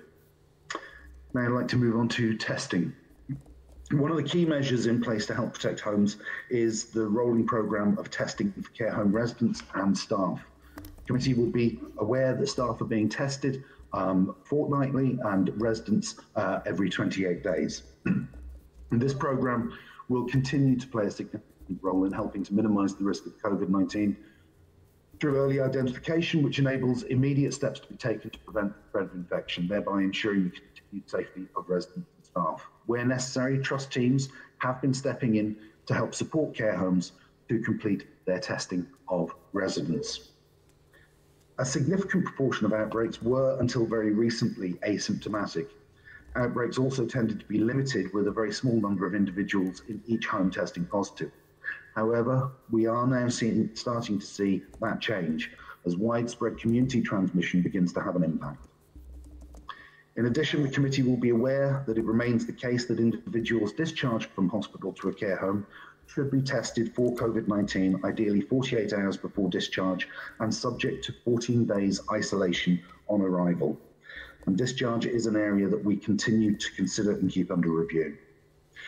We want to protect care homes from any risk of infection and ensure that residents are not held in hospital because we need to be clear that that also uh, entails risks for them if they stay there longer than they need to be. Now I'd like to move on to preparedness for the second stage that we are entering into. As part of preparations for the second surge, we established an adult social care governance surge planning group, which is co-chaired by myself and Charlotte. Charlotte and her team, as has been mentioned, have led on a rapid learning initiative, which has since been used to refresh the regional care home surge plan. We're taking a similar approach in other areas of social care. Actions in the regional, uh, regional surge plan have been assigned ownership, and the group Charlotte and I chair will oversee the progress in implementing those actions, which include the 24 actions identified in the Rapid Learning Initiative. Moving on to monitoring and reporting and support, uh, we continue to seek feedback and input from the care home sector to make sure that we understand the challenges they face. In particular, and again, this was touched on in your earlier session, valuable data continues to be collected through the RQIA facilitated care home application. We're currently using this to provide a weekly report assessing care homes, trusts and Northern Ireland as a whole against the agreed regional surge plan. While we are currently in a, a green surge status, it's clear that a the small number, small number of homes in red surge status, uh, because the number of residents who um, are COVID positive or who are in acute decline is growing. in terms of advice and support, we've continued to update and refresh the guidance we've provided to trusts, care homes, and care home employees. We're currently working on further revisions, which include considering how we can make the guidance more usable for those on the front line. In addition, care homes have had expert support available to them from the RQIA, from the PHA, and from trust care home support teams. We're expecting to build on that support further to provide expert support to InReach, uh, to care homes to help them ensure their cleaning, their infection prevention control, and all the other measures that will impact on COVID 19 are as effective as they can be. Furthermore, Charlotte and her team have supported the development of leadership training leading in a crisis for both care home uh, trust and uh, care home and trust staff. In the department, we continue to look at international best practice uh, to see what more we could be doing. While a recent international comparison has shown that Northern Ireland has fared better than other UK nations in relation to deaths in care homes, any unnecessary death is a tragedy and we're determined to do all we can to limit the impact of COVID 19 in care homes while maintaining quality of life for residents. Chair, there's a lot more I could say in terms of a, a, a prepared statement, but I think it's probably best I stop there and we are open for questions and discussion. Thank you very much, Chair. Okay, thank you, Sean and Charlotte, both for those presentations. And uh, I suppose in relation to your remarks, um, I think I think the, the the value that we now as a society place on all of those frontline health and social care workers, right across the piece, from nurses, doctors, domiciliary care workers, porters, everyone. I think that is one of the things to come out of this pandemic, that it would hopefully has actually moved the dial in terms of how we provide and fund health and social care and the, the value that we place on each part of that. And that's certainly a conversation that I think we will return to on very many occasions, and it is a crucial one for us. However, we will stay focused on, on the care home inquiry element that we are at today. And I do welcome the many of the measures that have been mentioned there, such as uh, access to the training and leadership training, things like that. I think those are very practical and very helpful steps. Um, however, in relation to the discharge policy, the current rules remain in place that you, there's a requirement for a test 48 hours before discharge. However, there is no um, there is no necessity to have received a negative test before the discharge is gone ahead with. We have heard evidence from the RCN in our inquiry that, that uh, the, the need to isolate can put additional severe pressures on staffing levels within the care home sector and that indeed some homes are not well, uh, just well built to, or, or well equipped to manage the isolation process. It is a fact that we don't at this point in time know statistically what the impact of that discharge policy has had on the first on the first surge of this virus in terms of the the very uh, severe impact that we have seen in the first surge in care homes, and indeed we're seeing very worrying statistics at the present time in relation to the doubling of cases in care homes over the past short time. So, what is your assessment, either of you, in, in terms of how well the discharge and isolate system is working at present? If perhaps I start and then Charlotte, I'm sure we'll, we'll want to join. Um, yes, you're right. There is no need for a negative test result before someone is discharged to a care home. Uh, and that reflects the fact that uh, to maintain people in acute environment when their needs can be met in a care home is the best thing for is not the best thing for them. Um, where people who are ready for discharge uh, in terms of uh, their acute medical needs, um, uh, it is uh, detrimental to their physical and emotional well-being to maintain them in hospital. and so it is recognised that they can be discharged to care homes. That can result in pressure on staffing, which is one of the reasons why the funding package that uh, uh, previous funding package and the additional monies that have been announced can be uh, used to uh, augment staffing uh, to uh, reflect the additional nursing and care requirements for managing those patient residents. You also mentioned that some care homes are not well built and not suitable for meeting the criteria to isolate. And in those circumstances, a care home should not take someone for admission. Um, uh, and that has been the case. Care homes have uh, declined to take uh, discharges where they do not feel they can appropriately manage their care. Um, and that is something that uh, we support. Uh, this is not a case where people should be forced to accept people for whom they are not appropriately equipped or prepared to care for. Um, I'll stop at that point and, and, see if Charlotte would like to add to that. Uh, thanks, thanks, Chair.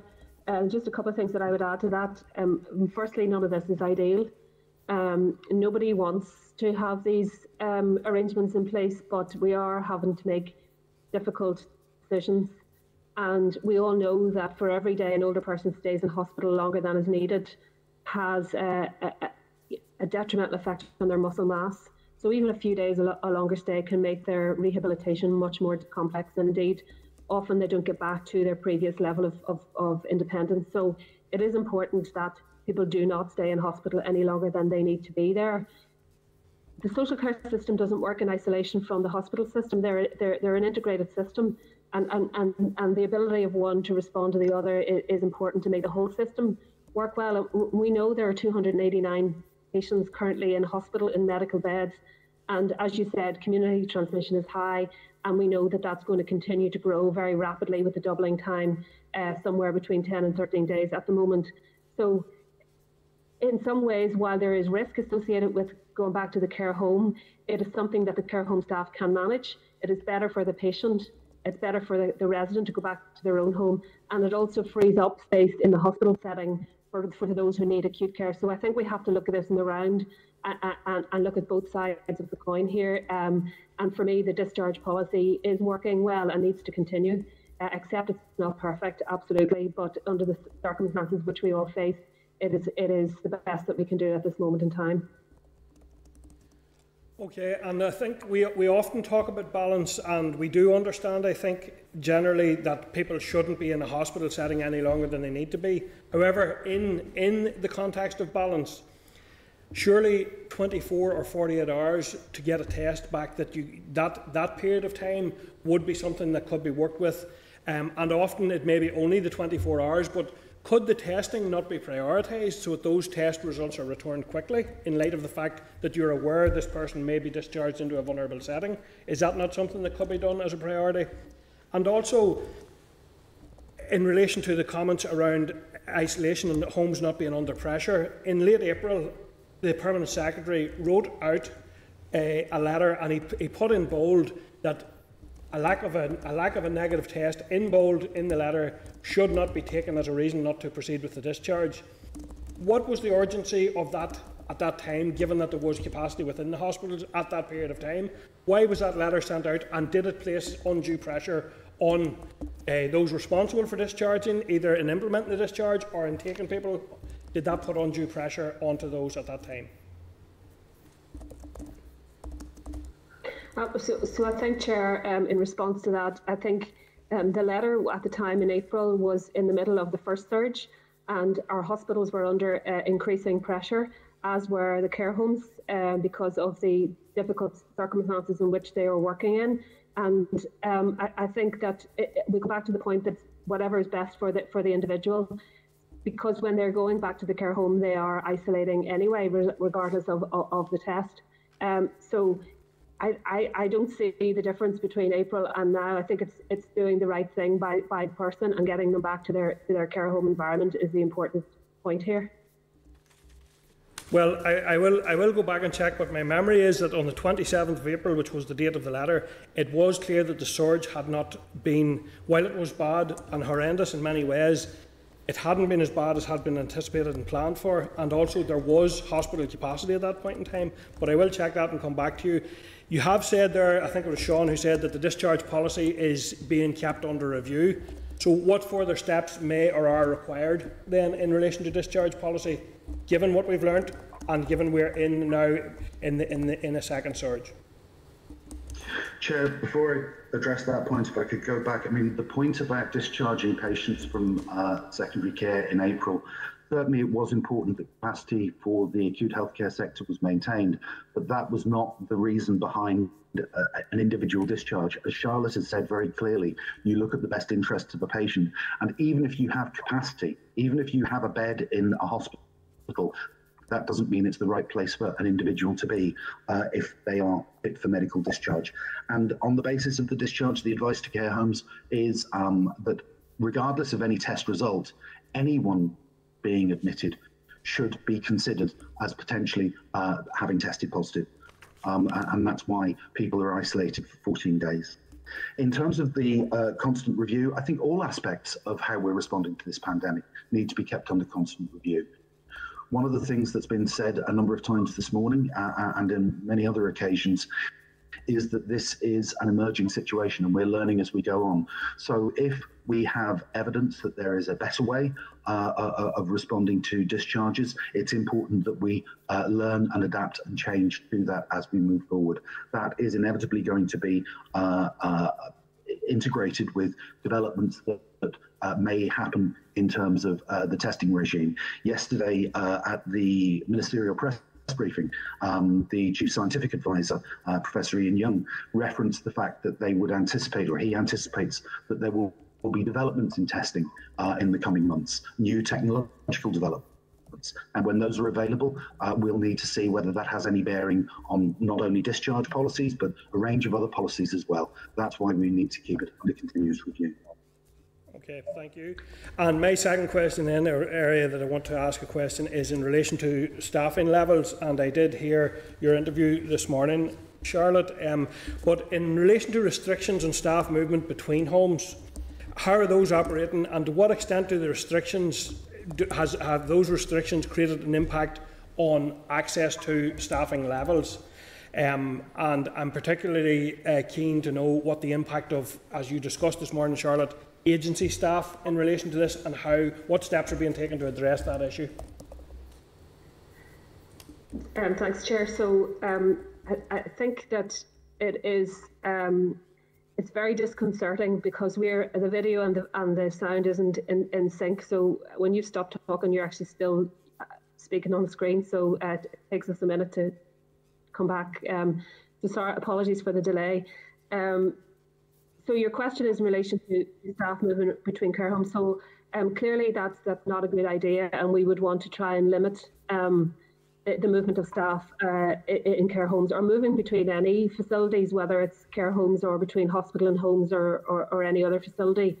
Um, and we have written to uh, the agencies from the Public Health Agency back in July, uh, asking them not to encourage that behaviour. Um, and the minister's announcement yesterday clearly provides funding for care homes to be able to employ temporary staff on what's called a block booking basis, where the same member of staff can cover a number of shifts to prevent the the, the number of, of, of different staff coming into the home and, and, and sharing across homes. So um, it, it's not a good idea. It's not one that we want to promote. Uh, but there will be occasions, I think, particularly as we move, move through the winter, where it's a choice between a member of staff providing cover in a care home or leaving the care home with no cover. And I know for, uh, on a risk assessed basis which of those options, um, if I were the care home manager, I would be choosing. And we have to make sure that uh, we continue to abide by the COVID secure, secure uh, rules around appropriate use of PPE, good hand washing, um, social distancing, good respiratory hygiene, additional cleaning all of the measures that we know will protect residents from COVID as best we can. So even if staff have to move uh, on some occasions uh, to provide cover over, over the winter period, then as long as they are adhering to the best possible procedures and practice, um, that is the most that we can do. Uh, it, it, it is going to be extremely challenging over the winter. Um, as you said in Surge 1, um, I think it was Sean that said in his remarks, uh, in Surge 1, Trust staff were able to provide uh, quite a lot of additional hours, but we know in the winter they too are faced with the same challenges of uh, staff having to self isolate for 14 days, or, or, either through the testing process, or through family members, or through sickness, or uh, childcare responsibilities. So all of that uh, rolling programme of, of staff being unavailable for work causes an, in, an increased pressure right across the system in both the health side and the social care side. So there is a balance to be struck about uh, supporting supporting the care homes. That said, Sean and I constantly take the opportunity to remind the trust chief executives on our regular calls that uh, supporting the care homes is an absolute priority. Okay, thank you. Um, just finally on the staffing issue, we have heard from uh, unions uh, that uh, there has been a lack of engagement and a lack of a, a forum to to uh, share information, share best practice, or share concerns even. And I have seen there has been good evidence, I think, of engagement with the care home sector, and indeed some good uh, practical measures put in place as a result of that. But um, given that unions unions have have expressed that concern, what can you tell us in terms of where the, the current situation in relation to working with unions and staff representatives, and what's being planned to address that? Um, well, clearly, we, clearly we can do more. Uh, we can always do more in terms of engagement, but in the in, in the current context, I think there are forums for um, the trade union uh, side colleagues to engage. Both uh, they have been involved from the Rapid Learning Initiative and into the Enhanced Clinical Career Framework or Clinical Framework for Care Homes. Both RCN and Unison are involved in that. There are regular meetings between officials um, and workforce, workforce Policy Directorate and the trade unions. And, and Sean and I are engaged uh, on an individual uh, level with, with trade unions from our professional backgrounds. So while I accept we could do more, there are definitely uh, uh, forums for them to be engaged in, and they will definitely be part of, of the, the programme of work going forward in relation to care partners and the enhanced clinical framework. Okay. If I could add to that, uh, Chair, yep. I think that um, I fully understand the view of trade unions that they would like more formal mechanisms um, for, for engagement. I understand why that would be the case. I'd also have to say I recognise the importance of engaging with unions. Um, I think that uh, you referenced engagement with the sector, and I mean, I know Pauline Shepherd has given evidence uh, to you uh, this morning and on other occasions, and we do engage with Pauline, but we also recognise that Pauline represents care home providers. That's a very valid and legitimate voice, um, and it's important that we listen to that voice. But it is one leg of a three legged stool. Um, I think that it's important that in addition to engaging with providers and hearing their voice, we do hear the representative voice of staff who work in care homes. And as you've referenced in uh, earlier remarks, we also need to hear the voice of residents and those who care and love for them, uh, uh, their families. Uh, we need to hear all of those views because they're not always aligned um, the views uh, and representatives of, for example, providers will not necessarily be the same as the views of, of, of residents and their families or indeed staff. Now, notwithstanding the point about uh, formal forums, uh, we have been engaging extensively with trade unions in on an individual basis. Um, uh, I've held meetings both with Charlotte and individually, and she has done the same with the key unions. We, we, we have very close engagement with uh, the RCN, uh, NIPSA, uh, and uh, Unison, um, who I think are particularly significant in relation to the care home sector. Uh, I, I, just don't think that we could approach this without that kind of engagement.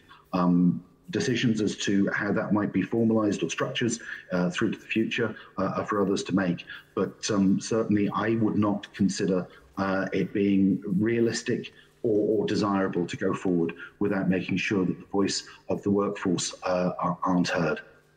Okay, thank you. I'll go now to members and I'll start on the teleconferencing with Orlaithí. Orlaithí Flynn, please. Yep, um, thank you. Thanks, um, Sean and Charlotte. And I know, Sean, you had mentioned obviously we heard from Pauline earlier on, and in Pauline's presentation, and it was referenced there within within your own or maybe within one of your answers.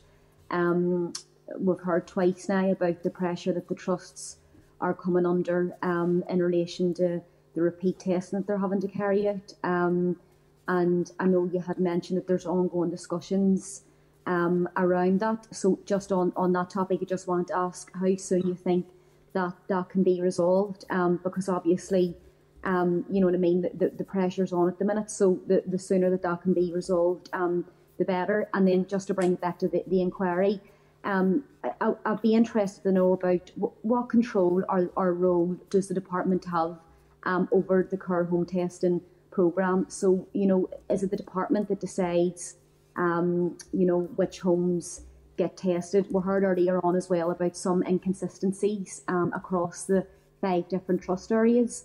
Um, so, and I know Charlotte, you had mentioned that user ten in regularly with the CEOs. I don't know if that's something that consistency issue is something that can get fed back into into that group.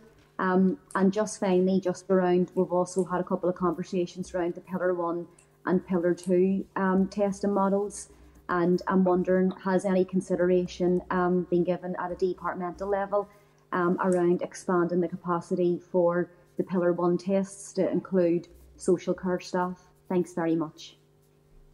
If maybe I start on the support for testing that we're providing to care homes, and then I'm sure Charlotte will want to uh, come in on some of the details about the testing regime. Uh, the money that uh, was announced yesterday, uh, it's intended that that money will be available to ease the burden on care homes in terms of participating in the testing program. We recognise that uh, you know rotas have to be organised. There's a degree of management time required, uh, and individual care workers um, ha have to be available to be tested, and that's why that package includes financial support uh, for easing that burden. It's also part of the uh, arrangements that we uh, don't uh, think that that should be an element that uh, care homes should have to be uh, retrospectively claiming for. We are calculating what we think is a reasonable uh, amount of uh, care home time to be required to support the testing regime, and we will pay on that basis. So facilitating the flow of money, uh, the flow of support to care homes without uh, increasing an administrative burden on them. Um, uh, and yes, the department does uh, have uh, an overview in relation to uh, testing. The chief medical officer has a group that specifically considers care homes and testing and ensures that that is um, the policy is developed in line with emerging scientific evidence. Um, I'm sure Charlotte will want to join in this answer.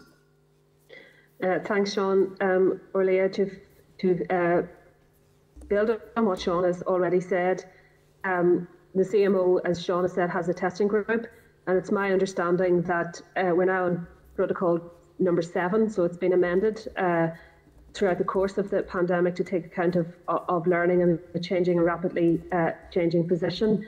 It's my understanding that all care homes are part of the testing programme, uh, and it's it's it's done on a, on a, a a, rolling program of staff every two weeks and residents every every 28 days. Uh, and the difference is between uh, Pillar One and Pillar Two. And uh, Pillar One obviously is is um, managed locally through the Health and Social Care Laboratories and the Northern Ireland Scientific Advisory Consortium. And the results um, undertaken in Pillar 1 are usually available in 24 hours, and that's specifically for homes that are in outbreak. Pillar 2 then is, is a national programme, and, and, this is managed through the Department of Health in London, and that's for the surveillance programme of, of, of, regular testing. Um, now, there have been some issues that uh, I think Pauline has raised about the, the, the, speed at which testing has been returned. And uh, I can tell you that in the Pillar 2 programme, which is where most of the care homes are at the moment, between the 27th of September and the 10th of October, there were 22,000 results communicated within 72 hours, which works out at about 85%, uh, with, with the remaining between 72 and, and 96 hours. So of 22,000 results, you know, that's a significant number of tests coming back within 72 hours. And I think that's a really good performance to get uh, 85% of the tests back within 70, 72 hours. I understand there are still concerns um, in relation to some, but there will be specific reasons why it's outside the 72 hours. So I'm not sure if that fully answers your question. Yes, no, no, that, that that's useful, Charlotte. I suppose it was just, I mean, obviously it's been raised at this committee um, that you know a lot of talk around having this integrated system right across our, you know, our our um, our healthcare system, and um, and that's why I was posing the question if it could be considered or if it is being considered or has been considered um, at any stage by the department to include um, the the um, the social care workforce um, within that Pillar 1 um, testing because obviously the concerns are there around the delays and the 72 hours turnaround, um, 85%. Um, that 85% figure um, is really good. That is really positive. Um, but I think, I suppose, it still has a knock-on impact somewhere as opposed to the 24 hours to the 72 hours. You know, it still can make a big yeah. difference people working in that sector. Well, I should say that this is management information and, and, and it does change from, from month to month, but I understand that um, within the 72 hours, obviously at 85%, 50% of them are within 48 hours, if that makes sense. So actually, there's a significant number back within within the 48 48 hours, and I think we're trying to keep Pillar One for outbreak situation, so that we can we can rapidly get results back there and, and manage the, the the difficulties that it causes um, as fast as we can, and, and moving you know 22,000 more tests for example, into Pillar 1 would, would really delay uh, Pillar 1 in terms they would not be able to meet the 24 hour turnaround. So I, I think it is a balance. and, and Pillar 2 is, is, for me, I like to think of it as a surveillance programme. It's picking up uh, asymptomatic staff uh, thus far much more er, much earlier than it, we had been before we started this, this regime. Yeah, so we're, we're, we're, catching it we're catching it early uh, uh, um, and as Sean has already said, that is starting to change now with the uh, transmission being so high. Um, but but still, over over seventy percent of, of those are asymptomatic staff cases.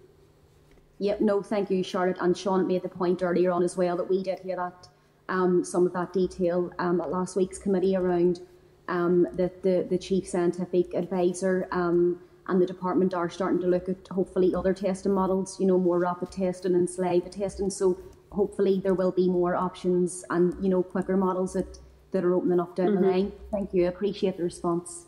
Thank you, Orlaithí. And going then to Paula. Yeah. Um, thank you. Thank you very much for your presentation. I forgot at the start to declare an interest. Um, my of a family member who works in a care home, and it's and it's in the um, in the context of how hard I know that um, the staff work. So this is no reflection. My question, and it's um, some of the evidence we've um, taken from the relatives is that whenever they do get to see their, their loved ones, that they can see a, um, a decline in their condition, usually like a long term condition, maybe like dementia. And I'm just wondering whose responsibility is it to assess the decline in these conditions so that maybe there some interventions could come in? And, and the second part of that really is, is to continue that um, theme around the care partners. Um, the um, Pauline Shepherd had indicated that she had received an um, invitation from yourself, um, Charlotte, to work with them around trying to expedite the guidance regional framework for that. So I would appreciate some timelines for that because I know a lot of relatives would be very keen to do whatever they have to do to actually get into the care homes to provide that support. Thank you. Um, Sean, well, I'll start with the care partners uh, in, in reverse order then, uh, if, if, that's okay. So in relation to care partners, um, we had set an initial date of the 2nd of November for implementation. I am aware of quite a bit of concern from, from, from the sector about the implementation of care partners. I, am completely committed to it. I think it's the absolutely right thing to do. And if it's the right thing to do, then we, we just need to find ways to make it happen safely. So um, in that regard, Pauline is, is working with us um, and we are engaging with families. And I've asked the PCC to bring forward uh, arrangements to continue to engage with families. I know she's had an initial meeting with some families, and there's a meeting planned for tomorrow with the PCC with more families. And the purpose of tomorrow is to really consider how we can continuously engage with families and get more people involved from their perspective, because equally the family's perspective is as important as the care provider's perspective here. Um, and I've had ongoing dialogue with Pauline around some of the issues that they are raising. And I think the Minister's announcement yesterday supports us to move forward, both with visiting and with care partners, because there will be additional resource there to support the care homes to deliver that safely. So um, we are working still towards the 2nd of, of, of November. I don't expect there'll be full impl implementation on the 2nd of November. And I know that some care homes have gone ahead and have already implemented care partners. And what I'm really keen to do is to, to find out how they've done that and what works well, and can we trans, transport that learning to other care homes. And that will be part of the network we have set up recently with the care home sector. Uh, we the first meeting was held this week, and we would propose a layered approach to this where it will give access to individuals uh, working at, at nursing uh, care home level um, as care managers. Uh, and, and, if we work together and share the learning, I'm convinced that we can do this safely and that it is actually the right thing to do, accepting that I realise there are a number of concerns and we need to work with the sector to, to iron those out. Go. And in, relation to care, um, what I would say is it's it's the, the, the care home manager and the registered nursing staff responsibility to assess on a continuous basis the care that they are providing and the, any deterioration in condition, and then to call in the appropriate supports that are needed, either by way of the GP um, or the care manager or whatever support is needed. That's one of the reasons that we are moving to develop an enhanced clinical care framework because we recognise that that is rapidly changing in the care home sector uh, and the acuity of people that we're looking after there is, is much higher than it was and the care home staff need the support of a full wraparound team by way of a medical cover and also um, enhanced clinical support from nursing and allied health professionals to support them to deliver the best care that they can. Shauna, I, am sure you want to add. Yeah, I, I, just add a few points to it. Um, I mean, the experience of relatives visiting and noting a decline is very distressing, but it's also probably inevitable. I mean, when you are suffering from a condition like dementia, uh, for with the best care possible, unfortunately, it is a progressive condition. And probably if you have had limited access to your relative, um, when you finally do visit and get to see them, that decline becomes visibly more marked. Um, and that's uh, deeply upsetting for people, but there is a degree of inevitability about that.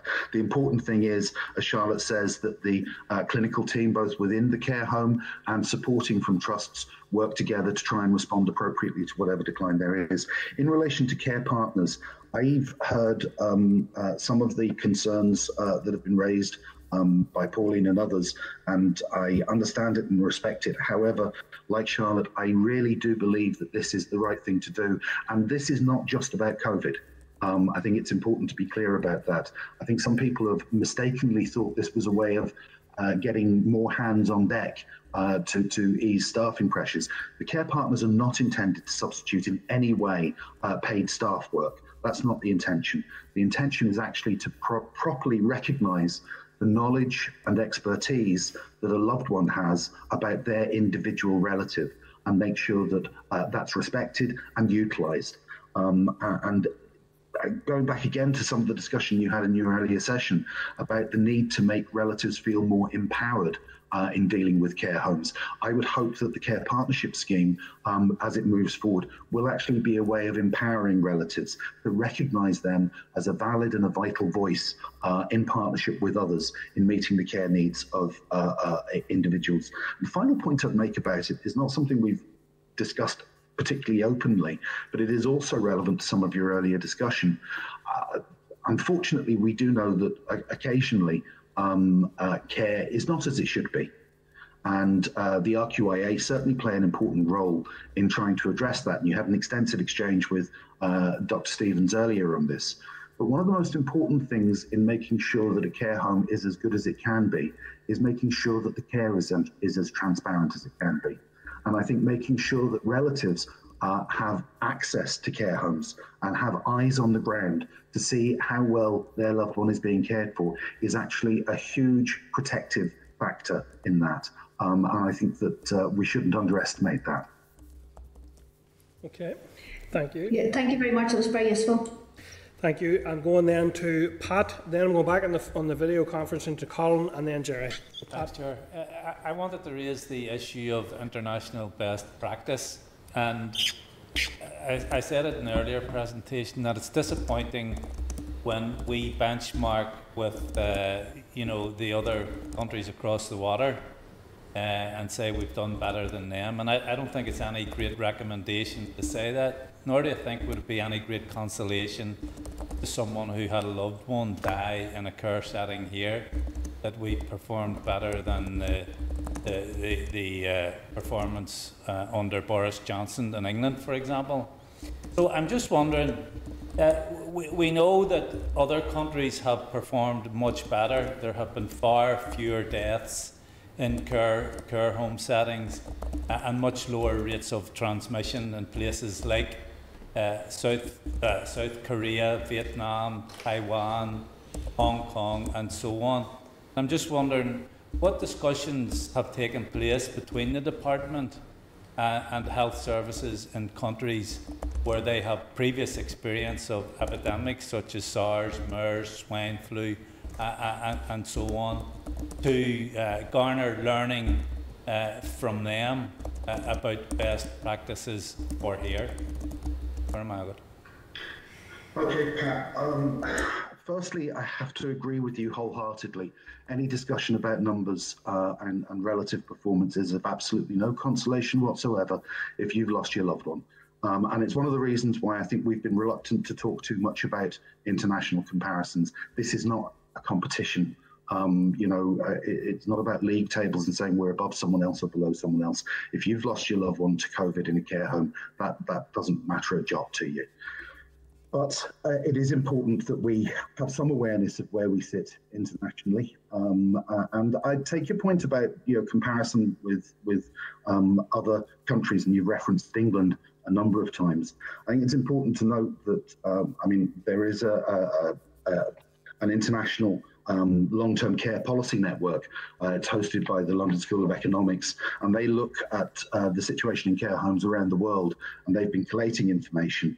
Uh, um, uh, and I actually shared with the chair of the committee uh, a, a, copy of a recent report where they were looking uh, at different performance. That report would indicate that in terms of excess deaths, which is probably the most comparable measure you can find, Northern Ireland actually performed significantly differently, not just to England, but also to Scotland and Wales. And that is an organisation that looks at international com comparisons, not just comparisons between the UK countries, and it noted um, Northern Ireland as being in a different position in terms of their excess deaths to the other three UK countries, taking into, into account overall international performance. To say it's no consolation whatsoever um, uh, to, to, to, to, individuals, but the um, performance when we say it, it, it performed better than uh, other countries in terms of excess deaths, uh, the international um, long-term care policy network uh, would not uh, include Northern Ireland in the same category up to this date. And that takes us to sort of what makes the difference other countries. Certainly, um, we've been using that policy network to try and benchmark measures that other countries have taken to see whether or not anyone is doing something that we're not doing. Um, uh, and we've been adjusting our position accordingly where we see something that is uh, um, uh, where we, we feel there's merit to it. Um, and uh, actually, we are updating the uh, benchmarking process against their reports uh, currently. We hope to have a report on that available in, in, in the coming days. in relation to those countries that have well, it is not always easy to compare different countries. Um, uh, there are measures that some countries have taken that would not be acceptable here. Um, uh, so, for example, I'm aware of uh, a country which has in effect locked down their care homes.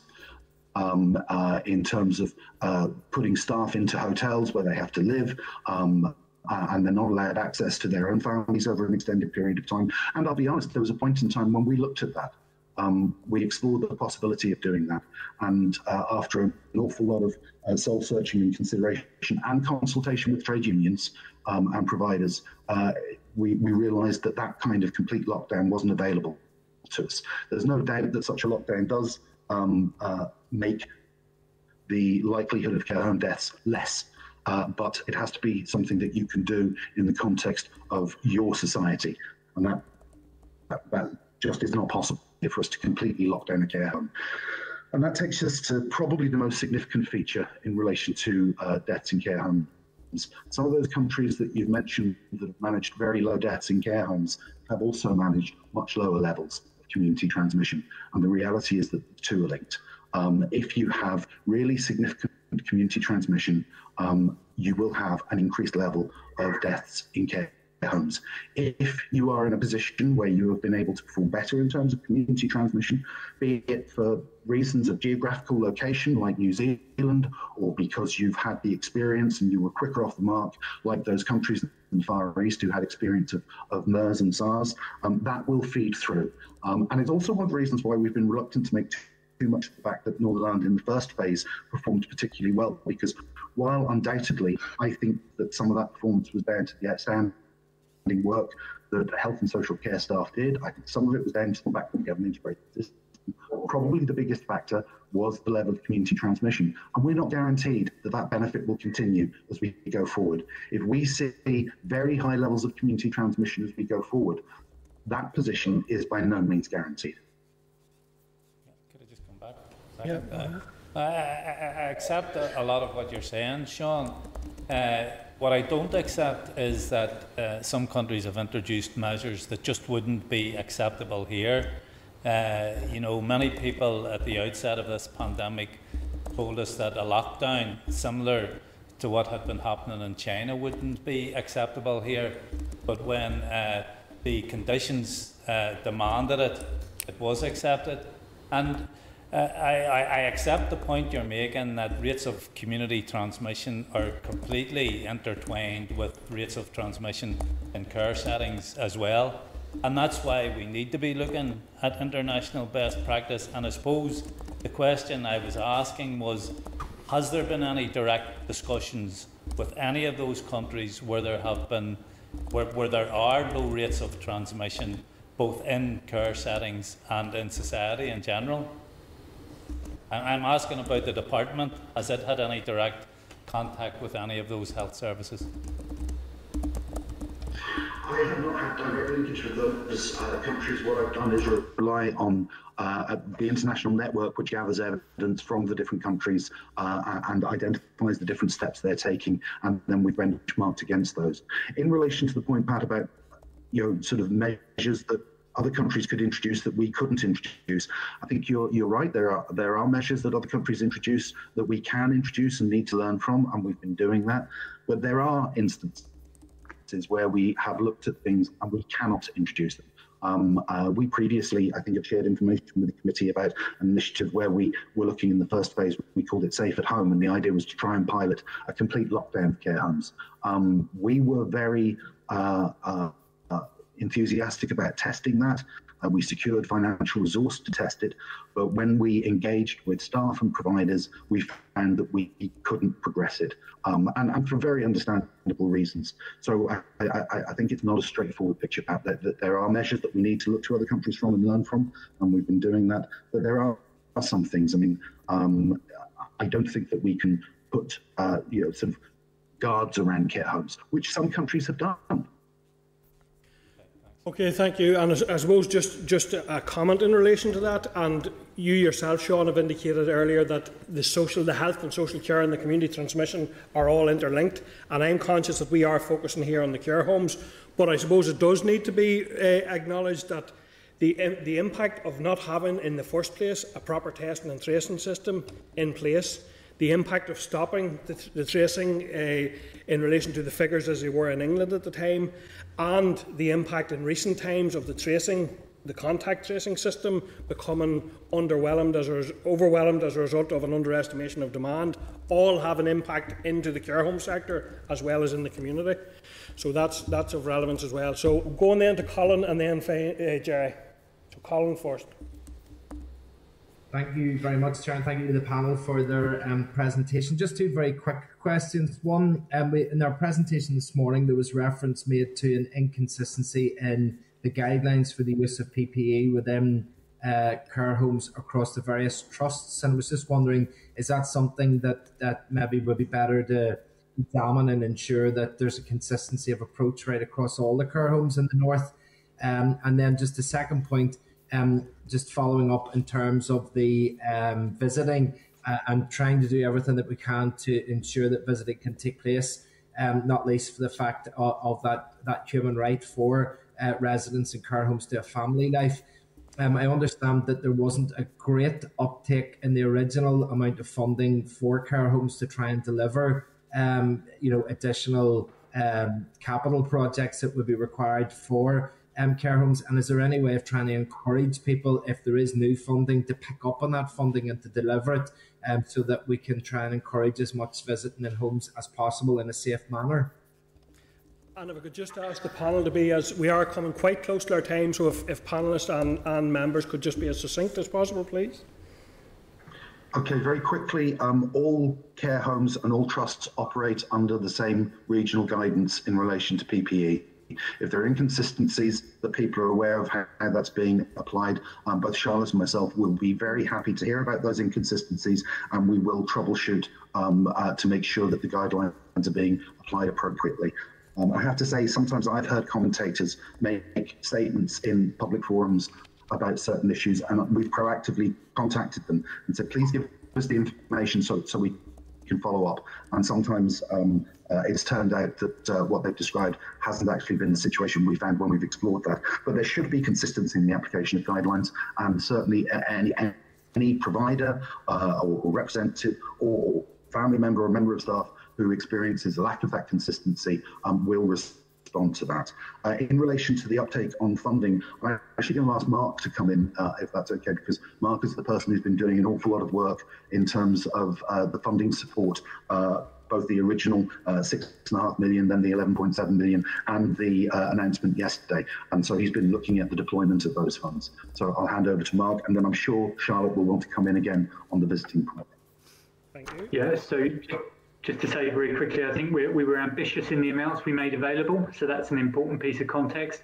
Um, actually, the, the uptake around um, uh, the money that was available for equipment, including iPads and things to support visiting, was um, probably stronger than um, on, on the, the, couple of other legs that we were providing funding for. But we have also listened to some of the feedback. I think you heard from Pauline earlier about the need for physical changes in the building as well, um, and we're looking to support that as we as we go again and make more money available. So um, uh, we are ambitious in the first place. Um, that there was kind of reasonable take up, but we're we're listening and learning from the feedback and, and thinking about the eligibility criteria to, to look to do more. Thank you, Mark. And so Charlotte? just to finish um, Colin's point on the visiting, um, so we did get feedback that uh, uptake was poor uh, in relation to um, uh, funds that were available, and that was, I think, people felt that they didn't need a virtual visiting equipment, iPads, etc. That they had that there, and in some cases it wasn't always um, a popular choice, for, particularly for older people.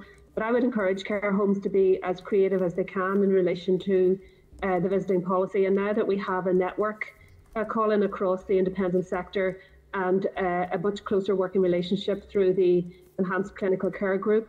Um, that will be the, the forum for which I will continue to support care homes to utilise the visiting money and uh, a percentage of that is going directly to care homes, as Sean has said, so it's there for them to use, and the rest of it can be drawn down uh, on evidence that they're using it effectively to support visiting. Okay. Another another issue will be about enhanced cleaning and, and providing like a, uh, a visitor champion in homes that will work with the families and the residents to make sure that that is all carried out safely. Thank you. Thank you, Colin. And Gerry. Thanks, Chair. Thanks, panel. Um, two quick points. Um, do you, maybe Sean should answer this one? Uh, do you have any concern uh, about um, care home providers who have had complaints about them in the past, pre uh, complaints during COVID, uh, still getting, um, still being in charge of the care of, of, a lot of our elderly population, and potentially getting support PPE and other financial uh, measures. Um, my other point is obviously uh, previously, Sean, you, you were indicating sort of support or positive uh, indications maybe uh, towards uh, publicly run care homes under an NHS type model. Um, given the, the, the, situation with Four Seasons, um, a few weeks ago said they want to sell 42 of their care homes. Uh, have you made any recommendations or views towards the Minister about the department or trusts maybe taking a role uh, in the provision of those um, care homes? Okay, Gerry. Um, first, on the financial support to care homes, um, uh, not quite the question you asked, but I'm going to make a point and, and then address the specific one.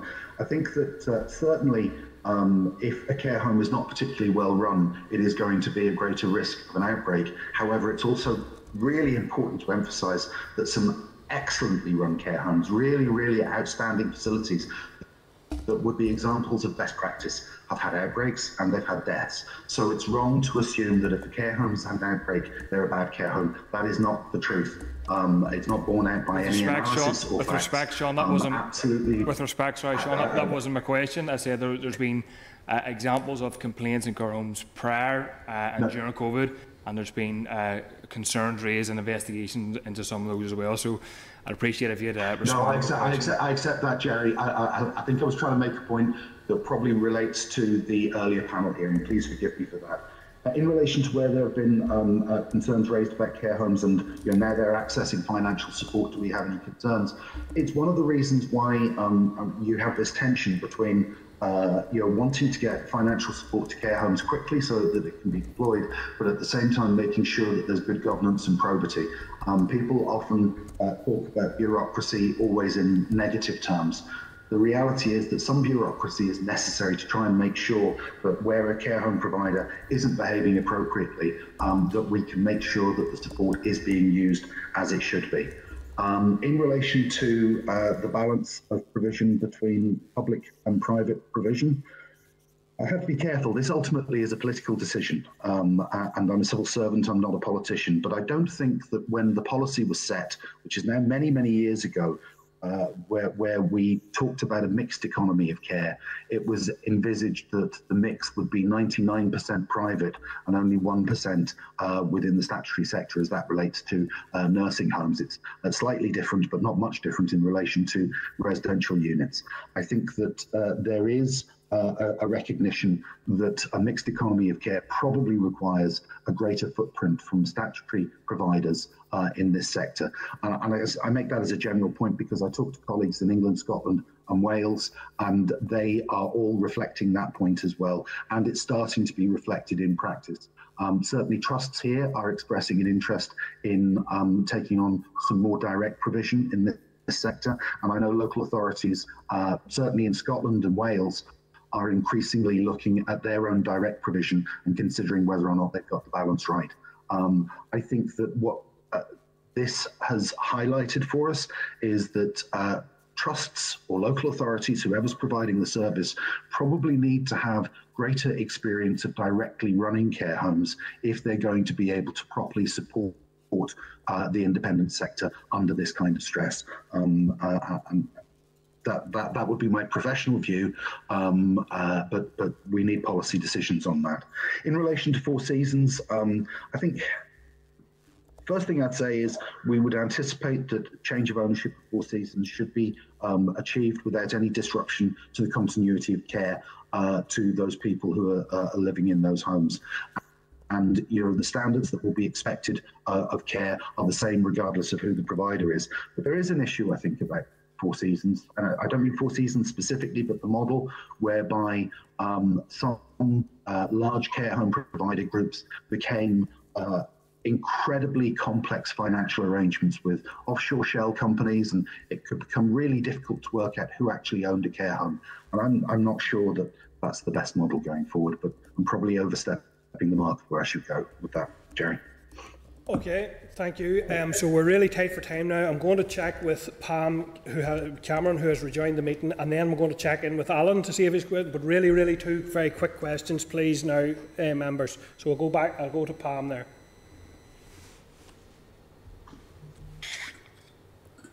Yep, go ahead, Pam. Can you hear me? Hearing you, Pam. Yep, go ahead.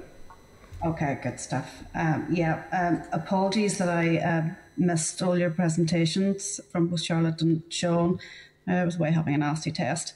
Um, I wanted to ask around, um, and apologies if it's already been asked, um, if anyone would, would be able to clarify what the the use of the Nightingale 2 at Whiteabbey will be.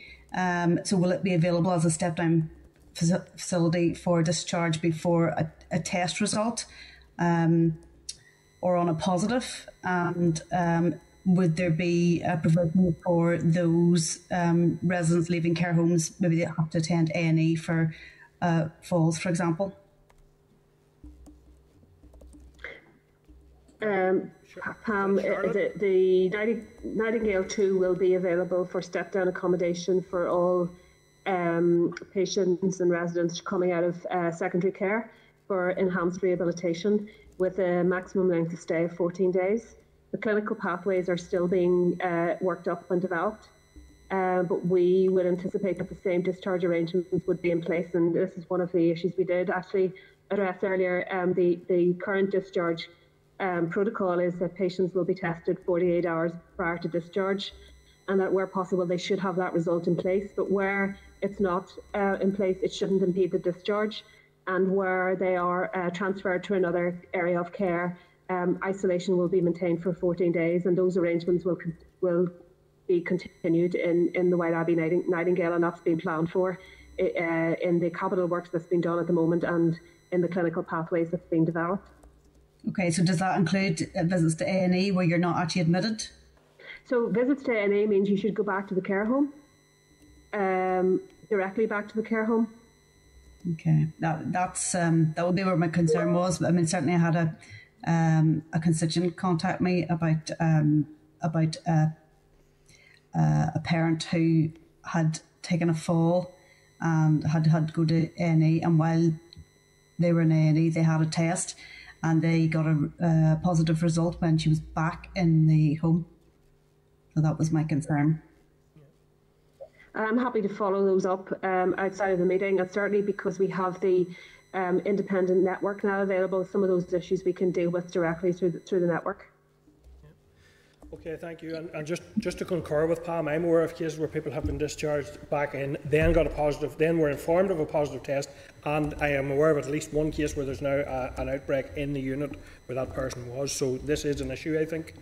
Um, I'll go then just to check with Alan. Alan, do you have a question there? Short question, please, Alan, if you have. You're on mute, Alan. Just take yourself off mute, please. Uh, thank you, Chair. No, I have no question, but just uh, uh, show my appreciation for uh, a very informative uh, presentation from the team. Thank you. Thank you, Alan. And uh, thank you. And I would also concur with Alan in, in that respect. it has been, I'd like to thank you on behalf of the committee, Charlotte, Mark, and Sean, for attending this morning, for giving us your briefings, and for hearing the issues and, and your responses to some of them. Um, and we will obviously be continuing with, with factoring in all of these responses and the, the different uh, perspectives on all of this in relation to our care home inquiry. But thank you very much. We want to send our uh, best wishes to everyone who you represent, who is out there on the front line in what is once again a very, very worrying period of time. And uh, we, we want to wish you all the best in the time ahead. Thank you. Chair, thank you very much thank for you. that. And can, can, we also wish all MLAs who might find themselves in the situation of self-isolating and waiting on test results like everyone else the very, very best. It's a, a difficult time for everyone and MLAs aren't exempt from that. Okay, okay thank you. Thank you. Okay, members. Um, just in, in, by way of a wrap up in, in all of that, is there anything that members want to um, say by way of comment or by way of any further actions, Gerry? Yeah, and it's hard to kind of tease it out, Chair, just because in, in, the time, but uh, you know, appreciate Sean's comments towards the end about the sort of offshore companies and shareholders running some of these car homes, and, and to me, that just emphasises the point for me exactly that there needs to be fundamental work, and he says it's political, it is, around you know requiring these homes for, for public ownership to extend them as part of the NHS. So uh, that, that was quite interesting, but I think a lot of the stuff was, was interesting and, and quite useful uh, presentations from, from Sean and Charlotte and, and everybody today. Yeah. Uh, members, any other quick points given the. Paul, are you looking in there?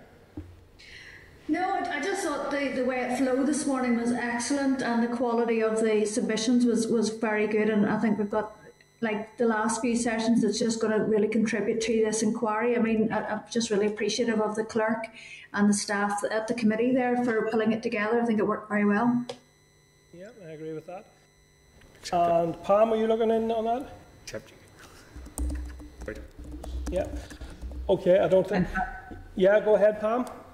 No, I'm um, I'm fine. Obviously, I, I missed most of that. Okay. Um, the last presentation, but um, I'll hopefully be able to listen back at some stage. Okay. Um, no, I thought they were. I thought they were all very good sessions. I think there's a lot of information there to digest, and I think that's the that's the, the key part of it now is to look at how those pieces all interact with each other and how we feed that into potential recommendations. One of the areas for me, actually, I was a wee bit still unsure about this issue about around the end of April in terms of where we were and could we have could we have been more flexible around discharge in relation to the letter as written by the permanent secretary. And Charlotte had said that we were in the middle, uh, still in the in the height of that surge. My memory was that it was actually starting to come out the other side of it. But I think it would be useful if we got a kind of a rationale, maybe from the permanent secretary, as to what the situation was at that time and what was informing his decision. Would members be happy enough if we seek that further information? Yeah. Yeah. yeah. Okay. Thank you, members. I will move on then to our next session of our meeting today. Is uh, the next three items are statutory instruments in respect of which the Minister has indicated his wish for the North to be included. Uh, these are statutory instruments that are being brought in Westminster. So, and the Minister has indicated his wish for, for us to be included within those. Um, before we go into discussing them in detail, is there anything in general that the members want to factor in at this stage in relation to the SIs before we go through them in, in, individually? No, I think we had asked for a rationale, and that rationale has been, in each of these, has been provided to some extent. I suppose it would be, to me, you know, I'd be keen, I'm not sure how we actually do this, but that the Minister is proofing all of these, that there's no unforeseen consequences as a result of some of these down the line. But in relation to the, the sense of some of them, they do seem to make sort of a logical sense to some degree. Um, but I'll go, I'll go through them now just quickly then. So, number eight is the reciprocal and cross border healthcare amendment, etc., EU exit regulations 2020, and I refer members to pages at tab 8 of the pack. The Department of Health advises that this is a technical statutory instrument which will remove redundant no deal provisions designed to apply if no transition period had been agreed. So, are members content to note that SI? Right. Yeah, content, thank you. Uh, item number nine is the Tobacco Products and Nicotine Inhaling Products Amendment EU Exit Regulations 2020, and I refer members to tab to, to pages at tab nine of your pack. The Department of Health advises that this is a technical SI to ensure that the North continues to comply with the EU Tobacco Products Directive in compliance with the Ireland NI Protocol. Um, one thing that did uh, sort of concerned me in relation to that was there's a line at the very end of that on page 178 of the briefing of the pack. Since Britain will no longer be required to comply with the TPD, it is possible there will be some deregulation, particularly of e cigarettes, following such a review. However, it's likely the overall approach towards tobacco and vaping products will remain highly regulated given the public health implications. I thought it might be useful to get some more information in relation to does that does that indicate there may be deregulation here and how that would be, or does that dereg does that apply to Britain? Do uh, Clerk, do you have? Um, just initially, uh, obviously, we are bound by the Ireland Northern Ireland Protocol, and that's what this is doing: is to make sure that Northern Ireland continues to adhere. So deregulation um, possibilities are restricted here by the protocol. Okay. And we'll hear more. The members may recall we've scheduled an overarching briefing on Brexit developments on the 19th of November, um, and so we can follow up around some of that at that point. Okay, thank you. Yeah, so uh, then in that case, the, the Department of Health advises it's a, it's a technical SI. So in that case, and, and given that we can use the opportunity on the 19th of November to make further inquiries, but for now, are members content to note the SI? Yeah, members content. Number 10 then is Electronic Commerce Directive, Adoption and Children Amendment, etc., EU Exit Regulations 2020. I refer members to pages of tab 10 of your pack. The Department of Health advises that this SI is technical also. It's designed to remove EU wide arrangements so that companies based in Britain that breach advertising rules in an EEA country in relation to adoption will no longer be treated as if they committed the offences in Britain. Persons who are not registered adoption agencies will continue to be prohibited from advertising in relation to adoption. Are members content to note that SI? Content. Yeah, thank you, members. Okay, turning then to correspondence, can I refer members to correspondence at tab 11 of the pack and to the correspondence memo, memo at tab 11.1. And I'd like to draw members' attention to a few items here. So, first of all, item 11.2 is from the Minister regarding engagement and consultation on rebuilding services. Any issues members want to raise in relation to that? And are members therefore content to note pending further engagement with the Minister in relation to rebuilding, which we have indicated previously we would like to do? Yeah, thank you. Item 11.1 is from an individual regarding Assembly control in relation to legislation on coronavirus restrictions. So it, it, relates to quite technical matters, that piece of correspondence, members. Would you be content that we forward it to the Examiner of Statutory Rules for her consideration? Members content with that approach? Thank you. Okay.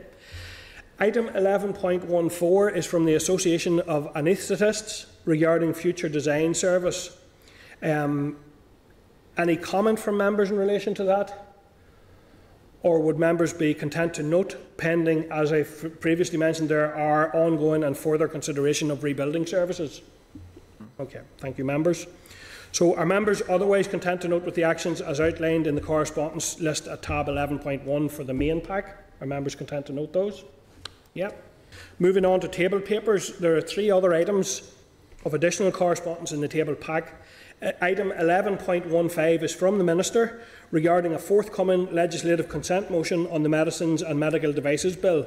Have members any comments in relation to that?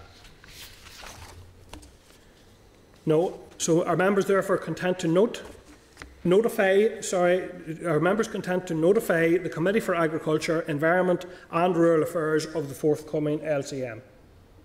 Yeah, members content, thank you. Item 11.16 is a letter from the Minister providing a link to the recently published report on exercise Cygnus. Do members have any comments in relation to that? and members content to note, and I know I certainly look forward to looking into that in, in some more detail. Um, so members are content to note that for now. Thank you. Item 11.17 is from the Minister in relation to gender identity services. So um, have members any comments? And, and I do note that, that uh, Gerry Carroll is, is planning an informal session with the committee with the people impacted by this. So, Gerry, have you any comments? Yeah, Chair, just a reminder that's going to be on Tuesday at 1 o'clock, and I'll, I'll send an email invitation out this afternoon um, and obviously consider the, the detail of the, of the letter. Okay, and thank you, Gerry, for coordinating that meeting on, with that sector on behalf of the committee. Um, moving on, then, members, to yeah, moving on to the forward work programme, item 12. So I refer members to the draft forward work programme at tab 12.1 of your pack. Are members content to note the forward work programme? Yeah, members content, thank you. Uh, any other business then, members? To members of any other business today? Gerry? Sure, and bear in mind, Gerry, we need out for 1.30. I'll try, but it may not be in my control. But um, I think obviously the comments last week from the, the DAERA Minister, I think were very offensive and, and dangerous for all sorts of reasons, especially pertaining to the virus, uh, which could and effectively try to blame one section of the community for it. So I want to suggest that we write to him saying we as a committee uh, disassociate ourselves from the comments and call for him to reconsider his position in light of what he said uh, last week. Members' views on that? Chair, Alex. The Minister explained yesterday and he didn't. Everything was taken out of context, and I just think Gerry's just stern, to be honest with you. And I wouldn't be accepting any letters, from my point of view. Thank you. Okay, Paula. Um, thank you. Um, yeah, no, I, I, I, certainly agree with them that they were very, very unhelpful this week, and uh, I suppose it's been played out in the media a lot. I think my concern is that we're, we have tried at this health committee to be very collegiate and work together to fight this pandemic. And I suppose it, it really undermines the assembly and this health committee whenever the sectarianism and stuff like that starts feeding in. So very much concur with what Gerry's saying, but I think that we have to really stay very focused on our body of work here and allow some of those um, comments to be um, reserved for the actual assembly chamber. Thank you. Any other comments in relation to that? Um, I, I, also, I also think the comments were unhelpful. I have to say they were inaccurate, and I don't think they were, they were, they were certainly extremely hurtful, and uh, I, I think they were very, very ill judged in that sense. But I do think that, um, in terms of a committee position, I think I think we've noted them here today, and if members are content, we should leave it at that. Members I, content? I, I would like to propose a chair, but I appreciate if nobody uh, seconds it that I may not be able to carry carry through. But just to say, chair, we, we spent a lot of time talking about previous uh, ministers at funerals and, and their approach, uh, and I think this is definitely the, the consideration of the health committee, considering it was an attempt to uh, appropriate blame on one section of the community for a virus that is spreading everywhere. So I do think it's relevant to, to what we're discussing today. Well, I, I understand. I un, I, will bring you in a minute. I do understand your point. My my my approach to all of that has been at every stage that we are the committee for health, and that that's who we should be. That's who we should be scrutinising. Um, and you know, I, I do think it's important that we retain a sort of a, a focus in terms of where we are at the minute with with COVID nineteen. Colin. Yeah, sure. I'm just, I'm, I mean, if, if Gerry was happy, I would be happy to second the proposal if we can maybe focus it more on just that the minister needs to be very careful of the remarks he makes and needs to think how they may or may not be taken out of context if that's his explanation, but that the comments were unhelpful, that they um, have gone down very badly with the community and they have the potential to undermine um, the public health message, and um, not least by suggesting that maybe in unionist areas people were safer and therefore may have been a bit more relaxed about the um, the rules and the guidelines because the suggestion and inference from the remarks that he made was that it was only in nationalist areas at a six to one ratio where people were getting the virus. So I think maybe a, a letter just to remind the good work that we're doing and that how he needs to be very careful with his comments should they be taken out of context. But I would be happy to second that. Gerry, would you be happy if that's the if that's the, the framework? That seems to be where, where it's going. Obviously, it seems to be my proposal isn't uh, uh supported in that sense. But uh, in light of that, I'm, I'm happy to kind of take Colin's uh, amended version, if you will. Okay, so are members content that the clerk will draft a letter and that we will send a letter to the to the uh, minister along those lines that Colin has Colin has outlined there? Yes, thank you. Yeah. Chair. Uh, Pam. Yeah, thank you. And I see Alan indicating trying to get into. I think you just haven't seen him, Chair. Um, obviously, I, I wouldn't be supportive of either of those proposals. Uh, and I think it's wrong not to be referring to the statement of clarification that, that Edwin Poots actually made very recently. Um, and I think that the matter has been put to bed and should be left there, quite frankly. Okay, and Alan? Yeah, Chair, uh, certainly. Can you hear me? Yes, we can hear you. Thank you. Uh, certainly, my party is is on record uh, as uh, making comments that uh, the minister's comments were unhelpful at best, uh, and that would continue to be uh, our position.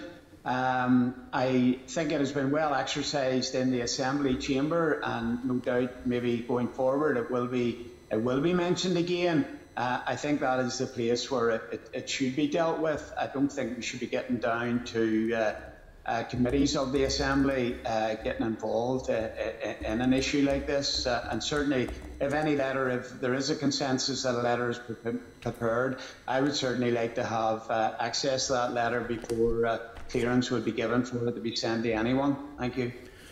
Okay, but I will note that we have obviously we have obviously um, issued letters in, in relation to matters that have been extensively, other matters that have been discussed in the Assembly. However, we are out of time in terms of this room, so we will need to reconvene this meeting back in room 21 um, to make a decision, and I think we're going to need to go to a, a division on it, given the views that members are expressing. Um, Could we not go for Yes, well let, us let's let's let's let's do that now. So I'm going to put it I'm going to put it to a vote then. So in relation to I just need to clarity on exactly what the motion is to record for the vote? Uh, I thought you had we were taking notes in relation to Gerry uh, Collins' wording. I, have, I w- I wouldn't be able to su- summarise it all as quickly as that to be okay. sure unless Colin wishes to re-summarise. Colin, can you re-summarise that just quickly for us there, please? The the, the wording that you had you had come up with there. Writing the minister to say that his remarks may have compromised the public health messaging and that he needs to take great care uh, in his remarks in case they should be misinterpreted. Okay, members content that that's the proposal. So I'm going to put that now to a vote. Members in support of that proposal? So Colin, Gerry, Colin McGrath, Paula. That's four. Yeah. Um, and members uh, opposed to that proposal? Alex, Alan, and Pam. Okay, the proposal is carried. Thank you, members. Okay, members, moving on then to date, time, and place of next meeting. Our next meeting will be held on Thursday, the 5th of November 2020 at 9.30am here in the Senate Chamber. Thank you, members. Senate Chamber, Programme signed.